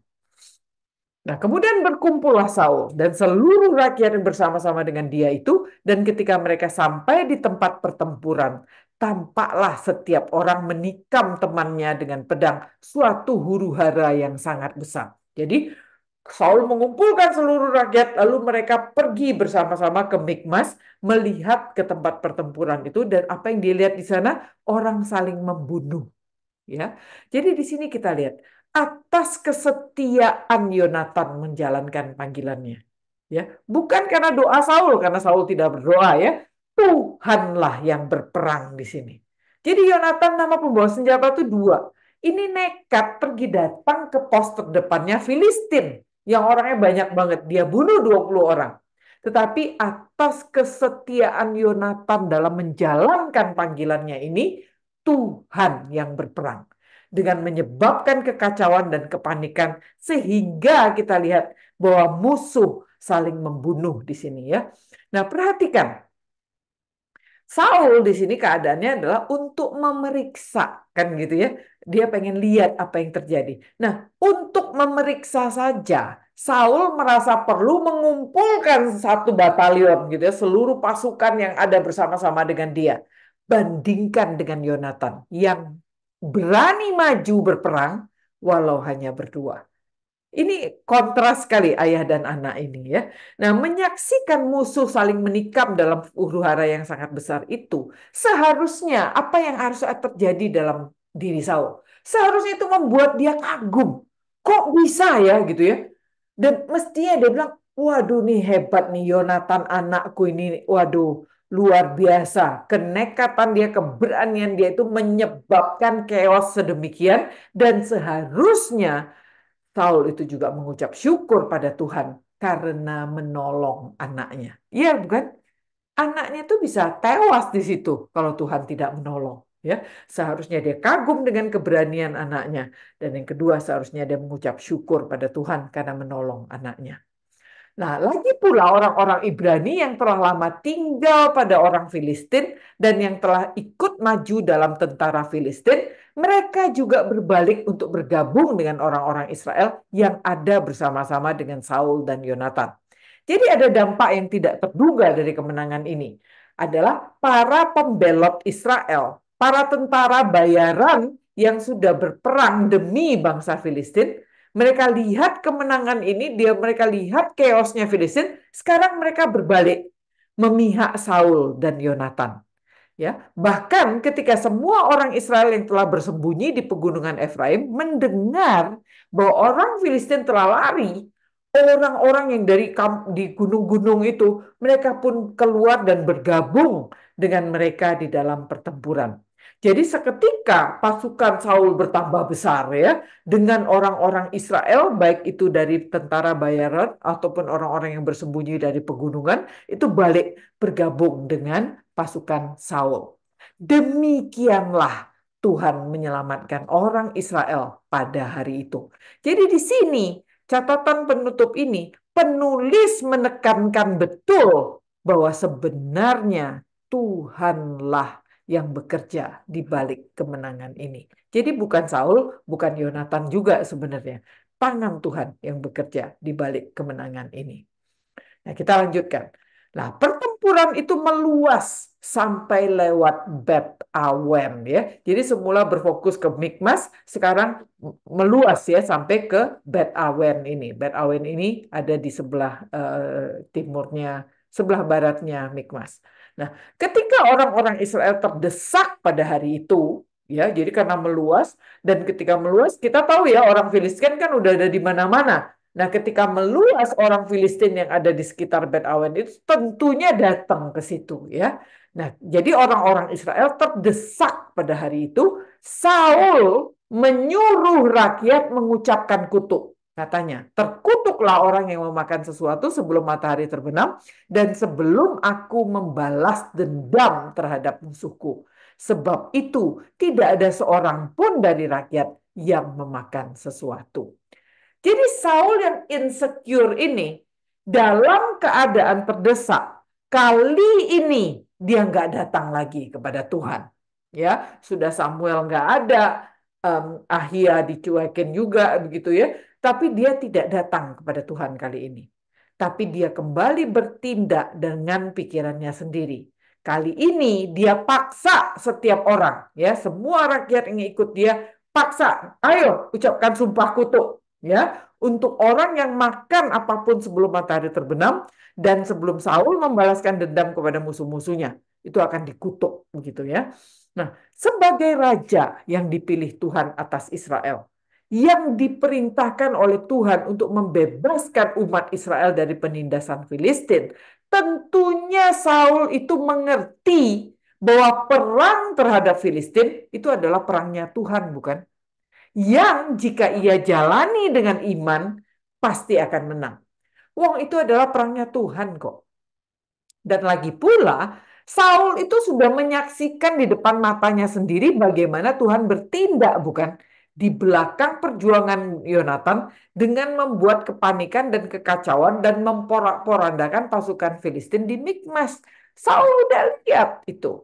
Ya, sebagai raja yang dipilih, dia udah tahu nih perang melawan Filistin adalah perangnya Tuhan. Kalau dia jalanin pasti menang. Ya, dan Saul sudah lihat bagaimana Tuhan memporak-porandakan Filistin. Namun di sini nih otaknya Saul ini manipulatifnya muncul lagi ya. Saul kali ini melihat dengan jeli. Dia mau memakai momen ini nih sebagai kesempatan emas untuk membangun image membangun citra untuk kemuliaan dirinya. Ya, kita tahu bahwa mengucapkan sumpah, apalagi sumpah kutuk, itu merupakan masalah yang sangat serius di, di, di timur dekat kuno, di budaya zaman itu ya. Nah, Saul itu menggunakan otoritasnya sebagai raja memaksa seluruh rakyat ini bersumpah untuk menciptakan kesan apa? bahwa aku nih pemimpin ya si Saul nih raja yang sungguh peduli, sungguh sangat bersungguh-sungguh dalam menjalankan perintah Tuhan dan sangat berupaya untuk bisa mengakhiri perang lawan Filistin ini sebelum matahari terbenam. Ya. Jadi dia merasa, waduh, kalau aku suruh sumpah nih keren banget deh gitu ya. Menunjukkan ke kebulatan tekadku untuk melawan Filistin sebelum selesai sebelum matahari terbenam. Dan seluruh orang itu perang ya. Sampai ke suatu hutan dan di sana ada madu di tanah. Ketika rakyat sampai di hutan itu tampaklah ada madu di sana ada madu meleleh, tetapi tidak ada seorang pun yang mencedoknya ke mulutnya dengan tangan, sebab rakyat tahu kepada sumpah itu. Jadi ada madu rupanya di tanah ya, di dalam lubang-lubang begitu, dan itu bisa tinggal dicolok gitu. Saya coba Google tuh betul ya, jadi ada madu di dalam tanah yang bisa kita colok begitu, bisa mendapatkan madunya ya. Jadi mereka melihat ada madu di tanah itu dan madunya itu banyak, tetapi tidak ada seorang pun yang berani makan. Tetapi Yonatan nggak dengar sumpah itu bukan? Dia tidak mendengar bahwa ayahnya telah menyuruh rakyat bersumpah. ia mengulurkan tongkat yang ada di tangannya dan mencelupkan ujungnya ke dalam sarang madu itu. Kemudian dia cadok ke mulutnya dengan tangan, lalu matanya menjadi terang lagi. Jadi walau karakter mereka bertentangan ya si Yonatan dan Saul ini, namun Yonatan itu sebenarnya adalah anak yang taat pada ayahnya Saul. Nggak ada catatan penulis Yonatan itu pernah memberontak terhadap ayahnya. Namun kali ini Yonatan itu cuma fokus berperang. Sehingga dia tuh tidak mendengar bahwa ayahnya itu telah menyuruh, telah memaksa rakyat itu bersumpah.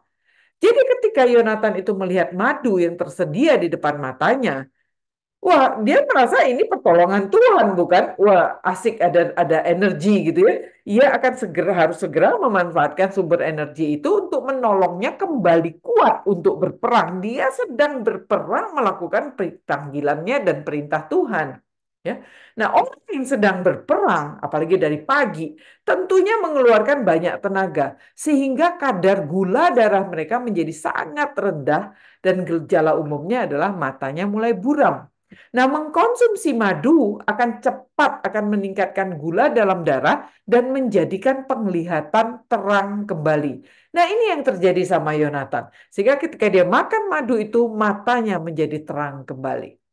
Nah, dan seorang dari rakyat bicara, katanya, ayahmu telah menyuruh rakyat bersumpah dengan bersungguh-sungguh. Katanya, terkutuklah orang yang memakan sesuatu pada hari ini, sebab itu rakyat letih lusuh. Ya, jadi melihat Yonatan makan madu itu, seorang pasukan memberitahukan memberitahunya tentang perintah uh, ayahnya itu ya memberitahukan tentang perintah kutuk ayahnya bagi orang yang makan apa pun yang menyebabkan rakyat menjadi letih dan lesu. Lalu kata Yonatan, ayahku mencelakakan negeri. Nah, perhatikan di sini Bapak Ibu ya. Yonatan itu secara spontan dapat melihat sumpah kutuk Saul itu akan mencelakakan, kata aslinya adalah akar, pasukan Israel yang sedang berperang yang sedang butuh-butuhnya energi. Jadi dia bilang, aduh ayahku ini akan mencelakakan negeri. Dia bisa lihat itu. Nah, kata mencelakakan ini, kata akar ini ya, itu adalah kata yang sama ketika Yosua menyatakan kesalahan Akan. Ya, kita tahu bahwa Akan kan mencuri ya dari barang-barang rampasan di Yeriko Lalu Yosua berkata, seperti engkau mencelakakan akar kami ya, maka Tuhan akan mencelakakan engkau pada hari ini. Jadi apa yang Yonatan bilang ini, ini adalah sesuatu yang sedang serius nih ya, bahwa Saul itu mencelakakan Israel, itu persis seperti akan. Ya.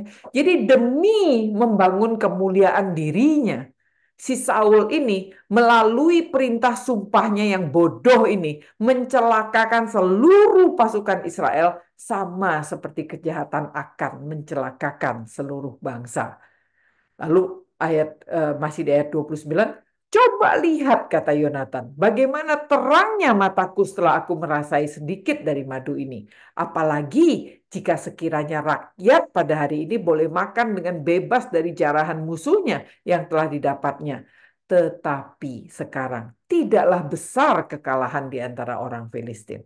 Jadi Yonatan menyesalkan seandainya rakyat boleh makan. Tentu mereka bisa mengalahkan Filistin itu dengan tuntas. Nggak hanya menang tipis gitu. Ya, jadi aplikasi kita apa? Pemimpin yang mencuri kemuliaan Tuhan, ya demi membangun kemuliaan dirinya sendiri. Ini seperti Saul. Itu akan melemahkan persekutuan dan semangat orang-orang yang dipimpinnya dalam memerangi dosa. Karena dia tidak bisa menjadi teladan yang baik. Tidak seperti Yonatan yang bersemangat dan mau all out untuk berperang dosa itu ya. Tapi Saul tidak. Dia mencuri kemuliaan Tuhan, dia membangun kemuliaannya sendiri. Itu akan melemahkan persekutuan dan semangat orang-orang yang dipimpinnya. Dan pada hari itu mereka memukul kalah orang Filistin dari Mikmas sampai ke Ayalon ya. Jadi mereka sudah muncul di Mikmas lalu mereka sampai sekarang ke Ayalon. Nah, Ayalon itu terletak 27 km di sebelah barat Mikmas. Jadi walaupun sudah letih lesu ya dengan susah payah dan karena sumpah bodohnya Saul itu, orang Israel akhirnya berhasil menang tipis gitu ya atas Filistin. Dan rakyat sudah sangat letih lesu. Ya, saya kebayang sih Bapak Ibu ya, bagaimana uh, letihnya. Saya pernah berjalan 60 km ya dulu waktu masih SMA begitu. Saya begitu nyampe ke tempat tujuan kami itu setelah 60 km tuh memang rasanya terkapar dan aduh kehabisan tenaga begitu ya. Nah rakyat sudah sangat letih lesu. Sebab itu rakyat menyambar jarahan. Mereka mengambil kambing, domba, lembu, dan anak lembu semuanya ya. Menyembeli begitu saja di atas tanah dan memakannya dengan darahnya. Jadi begitu selesai perang hari itu, semua pasukan Israel itu kalap karena mereka sangat kelelahan dan sangat lapar. Sehingga dengan brutal mereka ambil dan sembeli hewan-hewan jarahan itu dan langsung makan tanpa menunggu dimasak. Udah nggak tahan. Kalau tunggu dimasak lagi perlu satu jam lagi, bikin api lagi. Mereka sudah kelaparan, mereka tidak ada kayu, mereka sudah tidak bisa memasak, mereka harus membakar dan itu lama begitu ya nggak tahan gitu, sudah kelaparannya luar biasa, mereka tidak lagi menunggu, tidak lagi menunggu dimasak, mereka makan daging mentah yang masih ada darahnya. Sehingga mereka melanggar Taurat Tuhan yang sangat serius. Ya, Kita tahu bahwa di Imamat 17 ayat 10 mengatakan, Tuhan akan menentang dan melenyapkan setiap orang Israel maupun orang asing yang makan darah apa pun juga. Karena nyawa makhluk ada di dalam darahnya yang telah diberikan kepada kita di atas mesbah untuk mengadakan pendamaian bagi nyawa kita.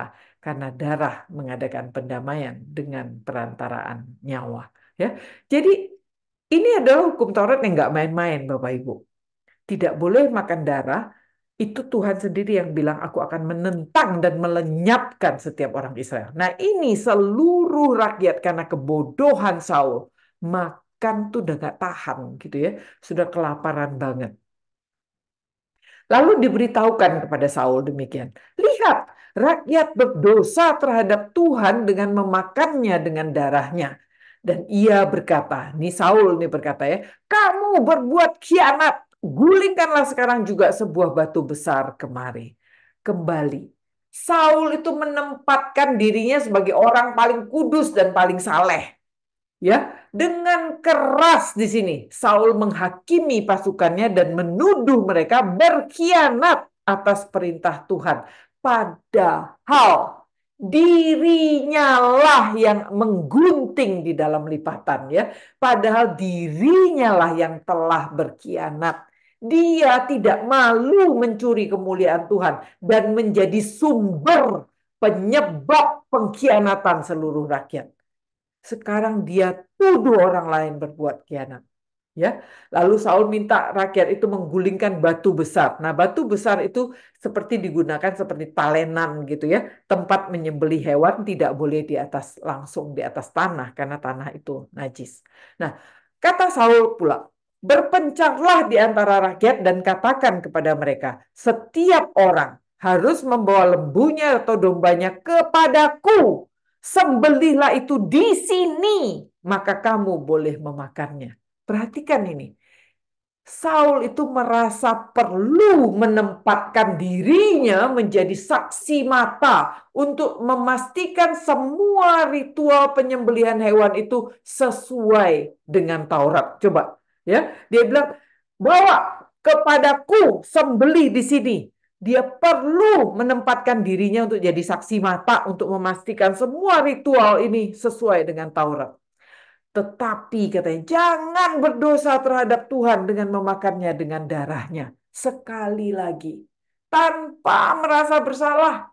Saul itu menempatkan dirinya menjadi orang paling suci, paling tidak berdosa, paling kudus, yang demikian peduli dengan perintah Tuhan tentang bagaimana cara makan daging itu ya lalu setiap orang dari seluruh rakyat membawa serta pada malam itu lembunya dan mereka menyembelihnya di sana tentunya karena sangat lapar malam itu juga nggak bisa tunggu besok gitu ya. Sudah kelaparan mereka itu. Malam itu juga rakyat membawa hewan dan menyembelihnya di atas batu sebesar itu dan tentunya mereka memasaknya dengan baik kali ini. Saul mendirikan mesbah bagi Tuhan. Pada saat itu juga Saul mendirikan mesbah bagi Tuhan. Namun, apa motivasi Saul mendirikan mesbah? Nggak ada keterangan apa-apa yang ditulis penulis di situ. Cuma dikatakan Saul mendirikan mesbah bagi Tuhan. Nah, kita perlu bandingkan ya dengan orang-orang sebelumnya yang mendirikan mesbah. Contohnya Abraham. Abraham setelah mendengar janji Tuhan, ia mendirikan mesbah bagi Tuhan dan memanggil nama Tuhan ya. Itu di Kejadian 12 ayat 8. Di sini pertama kali Abraham itu memanggil Yahweh ya. Tuhan ya, memanggil nama Tuhan. Musa setelah kemenangan atas Amalek, Musa mendirikan sebuah mesbah dan menamai mesbah itu Tuhanlah panji-panjiku. Tuhan berperang melawan Amalek turun temurun. Ya, kita lihat lagi Gideon bahkan si pengecut ini ya, saat mendapat konfirmasi atas panggilannya, Gideon juga mendirikan mesbah bagi Tuhan dan menamai mesbah itu Tuhan itu keselamatan ya, Jehovah Shalom. Nah, sehingga Saul nggak dikatakan apa-apa. Saul mendirikan mesbah bagi Tuhan, kan begitu? Nah, inilah mesbah yang mula-mula sekali didirikannya bagi Tuhan. Jadi Saul sebenarnya hanya memakai momen ini bikin mesbah ini dia hanya pakai itu sebagai sarana yang baik kembali untuk membangun image-nya untuk memuliakan dirinya ya. Dia bilang potong korban di sini di depanku di sini untuk menjadi saksi sehingga image-nya wah ini jadi orang kudus yang harus menyaksikan segala sesuatu memastikan segala sesuatu benar. Kemudian dia bikin mesbah sebenarnya itu apa untuk image ya, membangun image yang memuliakan dirinya. Dia tidak benar-benar ingin mengucap syukur atau peduli untuk memuliakan nama Tuhan. Enggak, dia bangun mesbah itu untuk dirinya. Lagi kata Saul, mari kita pada malam ini coba malam itu juga ya mengejar orang Filistin dan menjarahi mereka sampai fajar menyingsing dan jangan kita biarkan hidup seorang pun dari mereka. Jawab rakyat itu ya, perbuatlah apa yang kau pandang baik. Jadi masih dalam upaya membangun image sebagai orang yang peduli dengan perintah Tuhan untuk mengalahkan total orang Filistin, Saul memanfaatkan euforia kemenangan dengan mengajak rakyat mengejar dan menjarah orang Filistin malam itu juga sampai fajar menyingsing.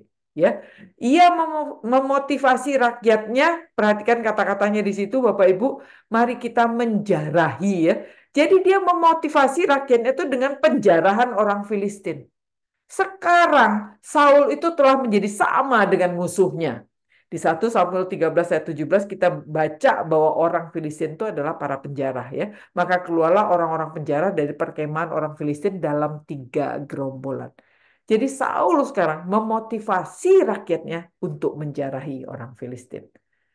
Tetapi imam berkata, nah ini Ahia tadi ya, Mungkin dia udah lihat ini udah kacau balau banget, orang udah capek kayak begini, mereka perlu makan yang cukup dan lain sebagainya. Dan Saul dengan nafsunya bilang, malam ini juga, yuk kita apa kejar orang Filistin dan jarah mereka sampai fajar menyingsing. Tetapi imam berkata, mari kita dahulu tampil menghadap Tuhan di sini. Jadi dalam inisiatifnya si Saul ini, dia sama sekali tidak ada maksud bertanya kepada Tuhan. Kembali ia bertindak dengan pikirannya sendiri dengan memanfaatkan situasi yang dia pikir menguntungkannya. Namun Imam Ahia menyarankan Saul bertanya pada Tuhan terlebih dahulu. Lalu Saul bertanya kepada Tuhan. Mungkin dia buru-buru gitu ya karena dia mau nyerang malam ini bukan? Dia buru-buru. Bolehkah aku mengejar orang Filistin itu? Akankah kau serahkan mereka ke dalam tangan orang Israel? Tapi pada hari itu Tuhan tidak menjawab Saul. Jadi ketika Imam Ahia harusnya dia mengambil Urim, Umim dan Tumim itu tidak ada jawaban untuk Saul ya. Mungkin dua-duanya nutup atau dua-duanya kebuka gitu ya, bukan salah satu. Nah, itu artinya Tuhan tidak menjawab ya. Nah, Tuhan tidak menjawab doa Saul. Karena Tuhan itu tahu hati Saul yang tidak setia itu, yang bertujuan kembali bukan benar-benar melakukan perintah Tuhan dan memuliakan Tuhan, tetapi bertujuan untuk memuliakan dirinya sendiri. Lalu kata Saul, datanglah kemari, kamu segala pemuka rakyat, berusahalah mengetahui apa sebab dosa ini terjadi pada hari ini. Jadi sebagai orang Israel, Saul tentunya tahu Tuhan itu tidak menjawab, pasti karena ada dosa. Namun dalam kebebalannya, sama sekali Saul itu tidak merasa berbagian dalam dosa apa pun ini orang luar biasa ya, bebal banget gitu ya. Raja yang bebal ini ya. Dia nggak merasa berbagian dalam dosa apa pun. Dan dia pengen pamer untuk memamerkan ketidakberdosaannya. Saul kemudian menugaskan para pemuka rakyat mencari tahu dosa apa yang menyebabkan Tuhan tidak menjawab. Coba kamu para pemimpin cari tahu. Ini kenapa nih Tuhan tidak menjawab? Ya, Nah, sebab demi Tuhan yang hidup katanya, yang menyelamatkan orang Israel. Sekalipun itu disebabkan oleh Yonatan anakku, ia pasti akan mati. Jadi Saul lagi pamer nih, aku tuh innocent dan sekarang dia lagi pamer. Kalau sampai anakku yang berdosa pun pasti aku korbankan, kan gitu ya. Di sini Saul memamerkan jiwa patriotismenya yang mengatakan aku rela mengorbankan anakku asal Tuhan bisa menjawab. Ya kan begitu dan kita bisa berperang. Kan begitu menunjukkan aku tidak aku mengorbankan keluargaku gitu ya demi berperang. Tetapi seorang pun dari dari rakyat tidak ada yang menjawabnya. Yonatan itu adalah pahlawan di mata seluruh rakyat. Dan seluruh rakyat mengetahui bahwa Yonatan itu melakukan hal yang benar. Yonatan itu hero of the people ya. Nah, kemudian berkatalah ia Saul kepada seluruh Israel. Kamu berdiri di sebelah yang satu, aku dan anakku Yonatan akan berdiri di sebelah yang lain. Lalu jawab rakyat kepada Saul, terserah dah kan gitu ya. Perbuatlah apa yang kau pandang. Baik. Hati-hati ya ketika kita menghakimi orang lain ya itu sebenarnya memberikan definisi terhadap kita, bukan definisi terhadap mereka. Nah, pertanyaannya mengapa Saul tiba-tiba berani berhakim dengan rakyat? Coba. Saul sepertinya mungkin di sini ya, dugaan para penafsir nih ya, dia mungkin sudah mendengar selentingan. Nggak mungkin ada ada anak buahnya yang nggak kasih tahu dia gitu. Dia pasti sudah mendengar selentingan bahwa Yonatan anaknya telah melanggar sumpah kutuk orang Israel dengan memakan madu. Nah tentunya Saul juga mengamati bahwa Yonatan itu nggak ada di dalam rombongan rakyat yang kelaparan yang dengan brutal makan daging mentah dengan ada darahnya itu. Ya, Yonatan nggak ada di situ karena mungkin Yonatan sudah makan madu, dia tidak begitu lapar, ya, dan dia tidak sebrutal rakyat yang makan daging mentah dengan darahnya. Jadi bisa jadi di sini kenapa tiba-tiba Saul itu berani berhakim dengan rakyat?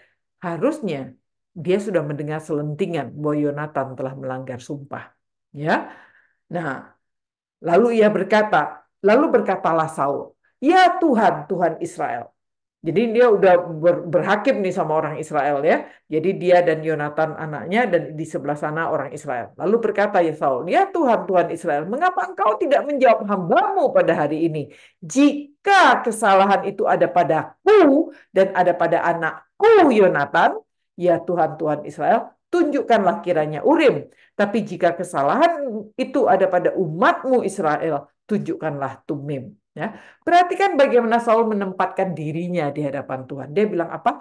Aku dan anakku. Seharusnya kan dia bilang begini, ke, uh, antara hambamu dan anak hambamu. Mestinya kan begitu dong kalau di hadapan Tuhan ya. Ini enggak. Dia sudah gede kepala dan bilang aku dan anakku. Jadi artinya nasib anakku itu juga aku yang tentukan. Ya. Lalu didapatilah jadi ketika diambil, rupanya keluar Urim ya, artinya Yonatan dan Saul. Dan rakyat itu terluput.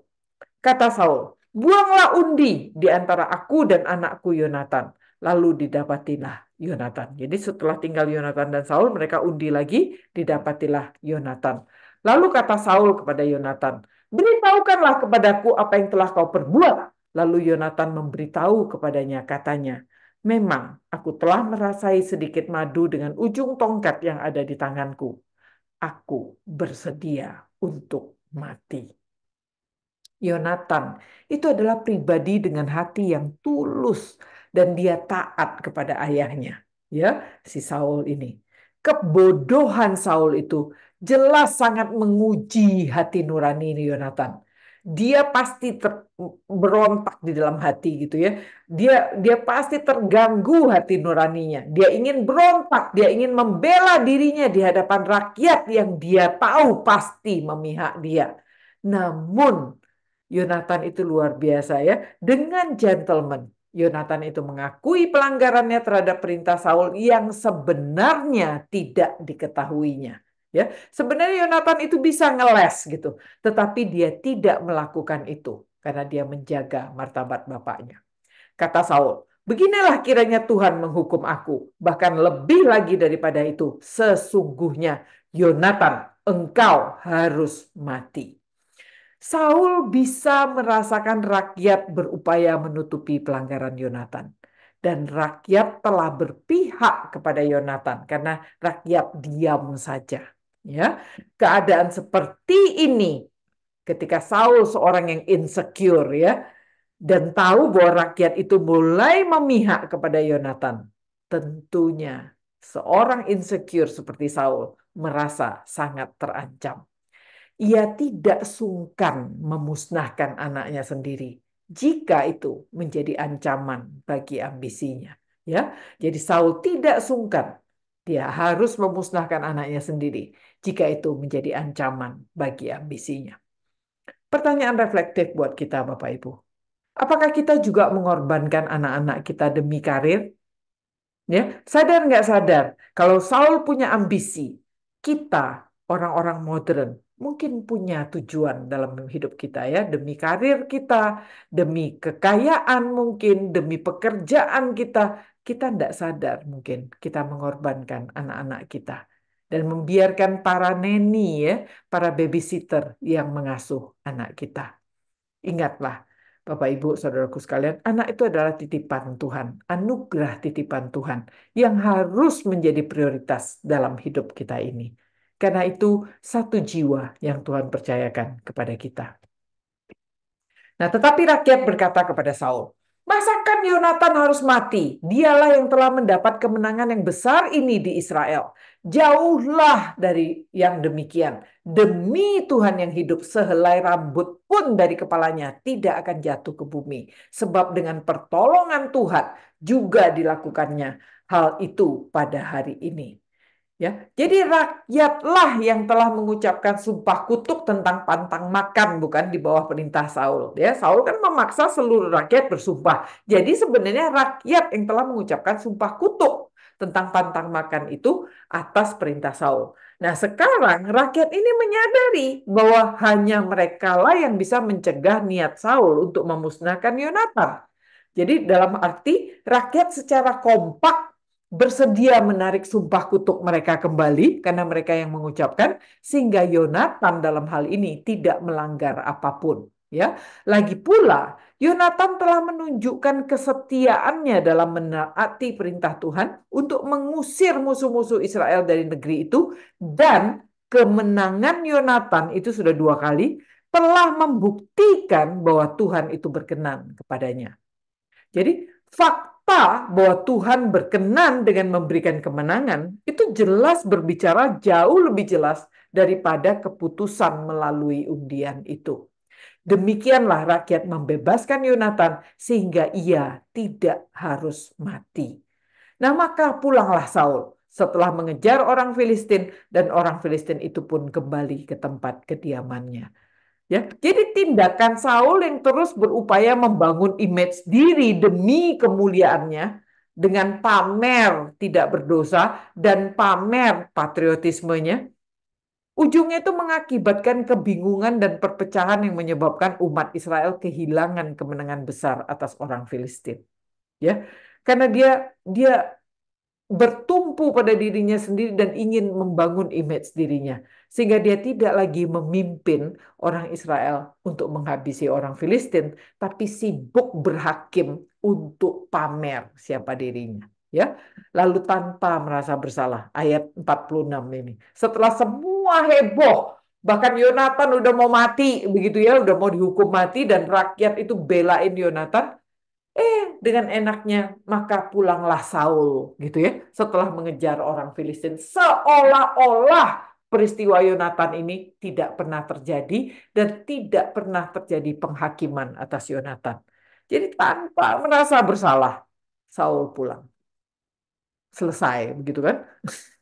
Ya ampun gitu ya. Nah, pada bagian akhir dari pasal 14, ini tulisan penulis ya Bapak Ibu, mereka memasukkan catatan tentang musuh-musuh Saul dan juga tentang keluarga Saul, ya.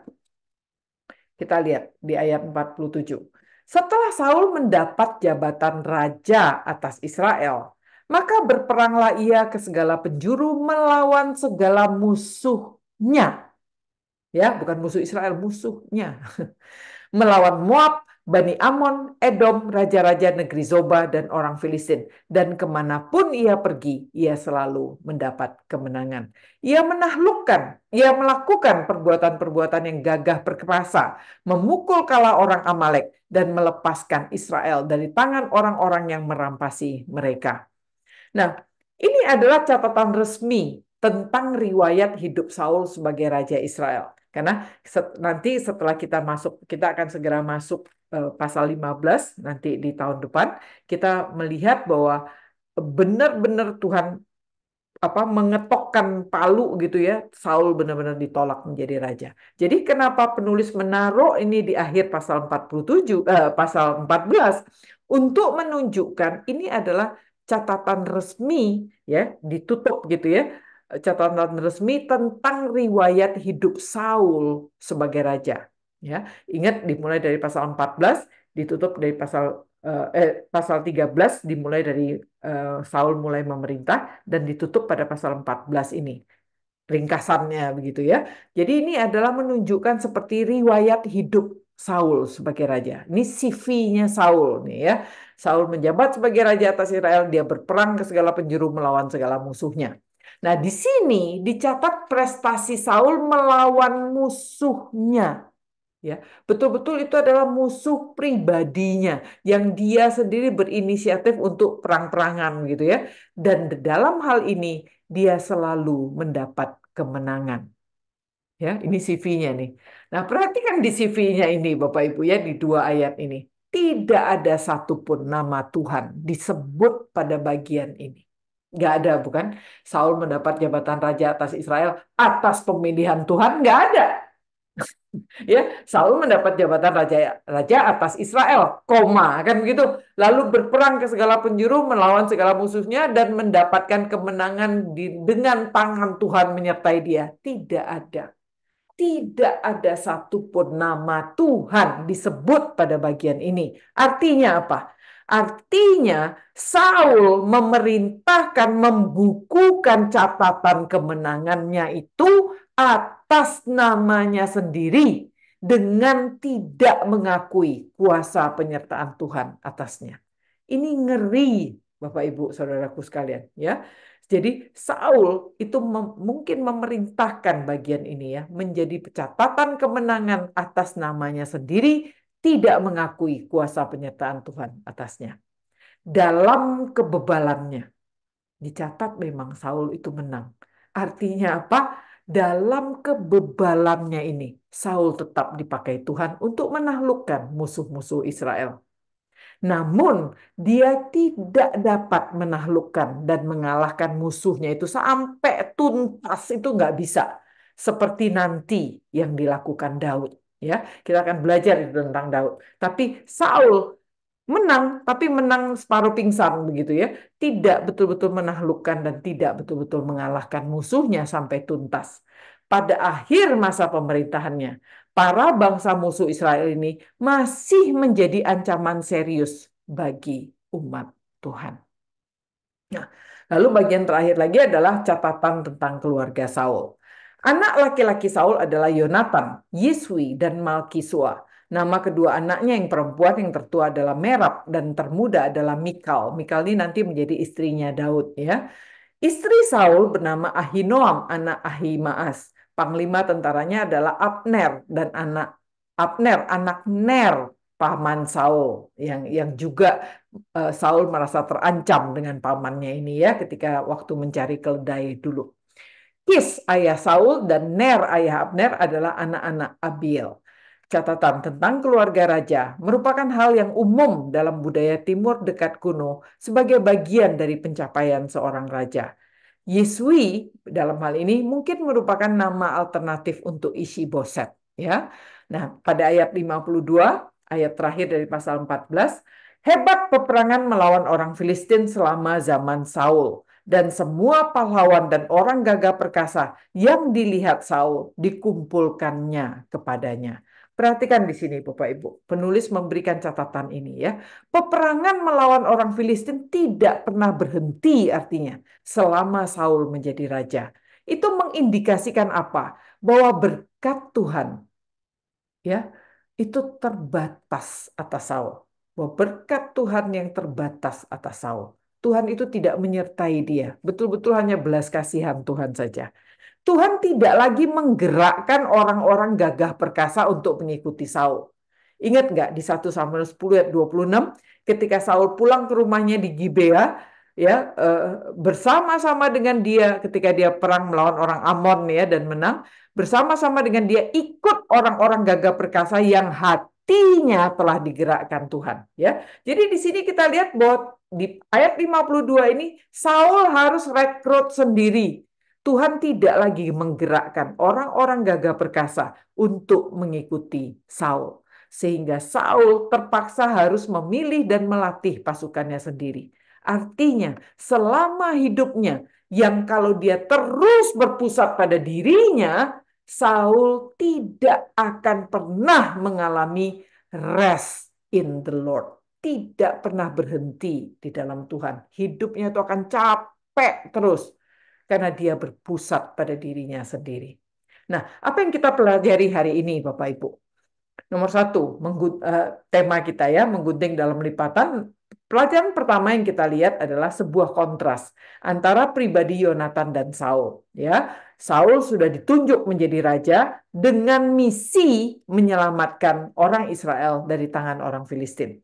Yonatan taat pada perintah Tuhan yang ditujukan kepada ayahnya. Dia turut terbeban, mau menjalankan panggilan mendukung ayahnya untuk membebaskan Israel dari Mesir, dari Filistin. Ya, um, dia terus berinisiatif, terus berusaha melakukan panggilannya, berani untuk bertindak. Dia menyeberang mendekati musuh, dia bernyali walaupun hanya berdua dengan pembawa senjatanya. Sementara Saul nggak taat pada perintah Tuhan, hanya memikirkan keselamatan dirinya dan menolak menjalankan panggilannya. Semena-mena dia mengaku, mengakusisi prestasi Yonatan dan melangkahi otoritas imam. Dia selalu mencari tempat aman, mencari tempat aman, ingatnya di ujung Gibea, dan dia selalu dikawal oleh para bodyguardnya, sombong, merasa besar, ya. Berhak merayakan kemenangan yang diakui sebagai prestasinya di bawah pohon delima, ingat ya, meski berulang kali gagal menjalankan panggilannya tanpa merasa bersalah Saul meneruskan hidupnya dengan tenang dan tentram saja. Ya, ini mengerikan Bapak Ibu. Yang kedua yang kita pelajari. Penulis ingin menunjukkan alasan utama ya di pasal 14 ini sangat nyata menunjukkan alasan utama kegagalan Saul dan penolakan Tuhan atas dia ya sebagai raja Israel itu adalah dan kehancuran pribadinya jadi ada dua nih. Saul itu gagal jadi raja, tapi juga menjadi pribadi yang ancur, lebur. Alasan utamanya apa? Penyebab utamanya itu adalah kejahatannya berkhianat. Kejahatannya menggunting dalam lipatan ya. Ini adalah pengkhianat. Saul itu adalah orang yang dipercaya Tuhan. Orang kepercayaan yang dipilih jadi raja atas umat Tuhan. Tetapi justru dia menjadi pengkhianat Tuhan. dalam menjalankan misi Tuhan. Tuhan itu mempercayakan misi yang sangat penting kepadanya. Selamatkan Israel dari Filistin. Saul gagal menghargai pentingnya menyerahkan keinginan pribadinya kepada Tuhan. Ketika kita, Bapak Ibu, diberi kepercayaan oleh Tuhan sebuah misi, seharusnya kita sangkal diri kita. Nggak boleh lagi ada keinginan pribadi. Ya, Saul sebagai pemimpin Israel seharusnya dia copotin keinginan pribadinya. Seharusnya dia sadar penting banget taruh keinginan pribadi itu di atas mesbah, bakar, habisi begitu ya. Sehingga harusnya dia cuma boleh punya keinginan Tuhan. Karena dia memimpin umat Tuhan. Tetapi Saul ini tanpa merasa bersalah. Berulang kali ia justru memanfaatkan Tuhan. Ambil berkat Tuhan atas umatnya itu bahkan dalam setiap kesempatan. Dia berupaya membangun image diri seperti yang diinginkannya. Saul nggak malu mencuri kemuliaan Tuhan untuk membangun kemuliaan dirinya, dia mengambil cap sebagai orang kudus, sebagai orang yang patriotik, dengan seolah-olah peduli dengan ritual keagamaan dan hukum Taurat. Saul melakukan apa yang dirasanya benar, tapi dia menolak taat pada perintah Tuhan, menempatkan dirinya pada posisi Tuhan. Dia tidak sadar diri, dia tidak sadar posisinya. Dan kita tidak tidak membaca, tidak ada sekalipun Saul ini bersyukur kepada Tuhan dan memuji memuliakan Tuhan atas semua kemenangan Israel. Tidak sekalipun. Kejahatan Saul yang paling mengerikan adalah, nah ini yang paling mengerikan. Tidak sekalipun hati nuraninya itu terganggu. Dia itu tidak gelisah dengan dosanya. Tidak sekalipun ada catatan hati nuraninya itu terganggu atas semua kejahatan yang dirancangnya dan dilakukannya kepada Tuhan. Kebebalan Saul terhadap semua kejahatannya adalah karena tidak adanya rasa takut akan Tuhan. Dia nggak takut sama Tuhan. Dia semena-mena sama Tuhan. Ya, itu juga yang dia tunjukkan kepada semua orang. Dia semena-mena terhadap Yonatan, semena-mena terhadap rakyatnya, suruh sumpah tidak karu-karuan sembarangan, semena-mena terhadap Samuel, semena-mena terhadap semua orang karena dia tidak punya rasa takut akan Tuhan dan dia juga semena-mena kepada Tuhan. Hati nuraninya sama sekali tidak terganggu. Itu luar biasa bebal ya. Nah, konsekuensinya apa? Sepanjang hidupnya Saul tidak pernah mengalami rest in the Lord. Saul menjadi pribadi yang restless, pribadi yang capek terus ya kejahatannya itu menjadi penjara bagi jiwanya. Berusaha lepas terus tapi nggak bisa lepas karena kejahatannya itu memenjarakan dia. Nah itu yang kita pelajari hari ini Bapak Ibu. Sehingga apa yang kita lihat dari Saul ini, kejahatannya itu mendapatkan konsekuensi.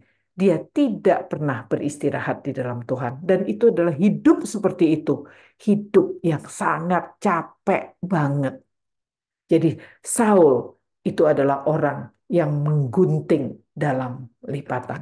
Mari, um, apa yang menjadi pilihan kita, Bapak Ibu?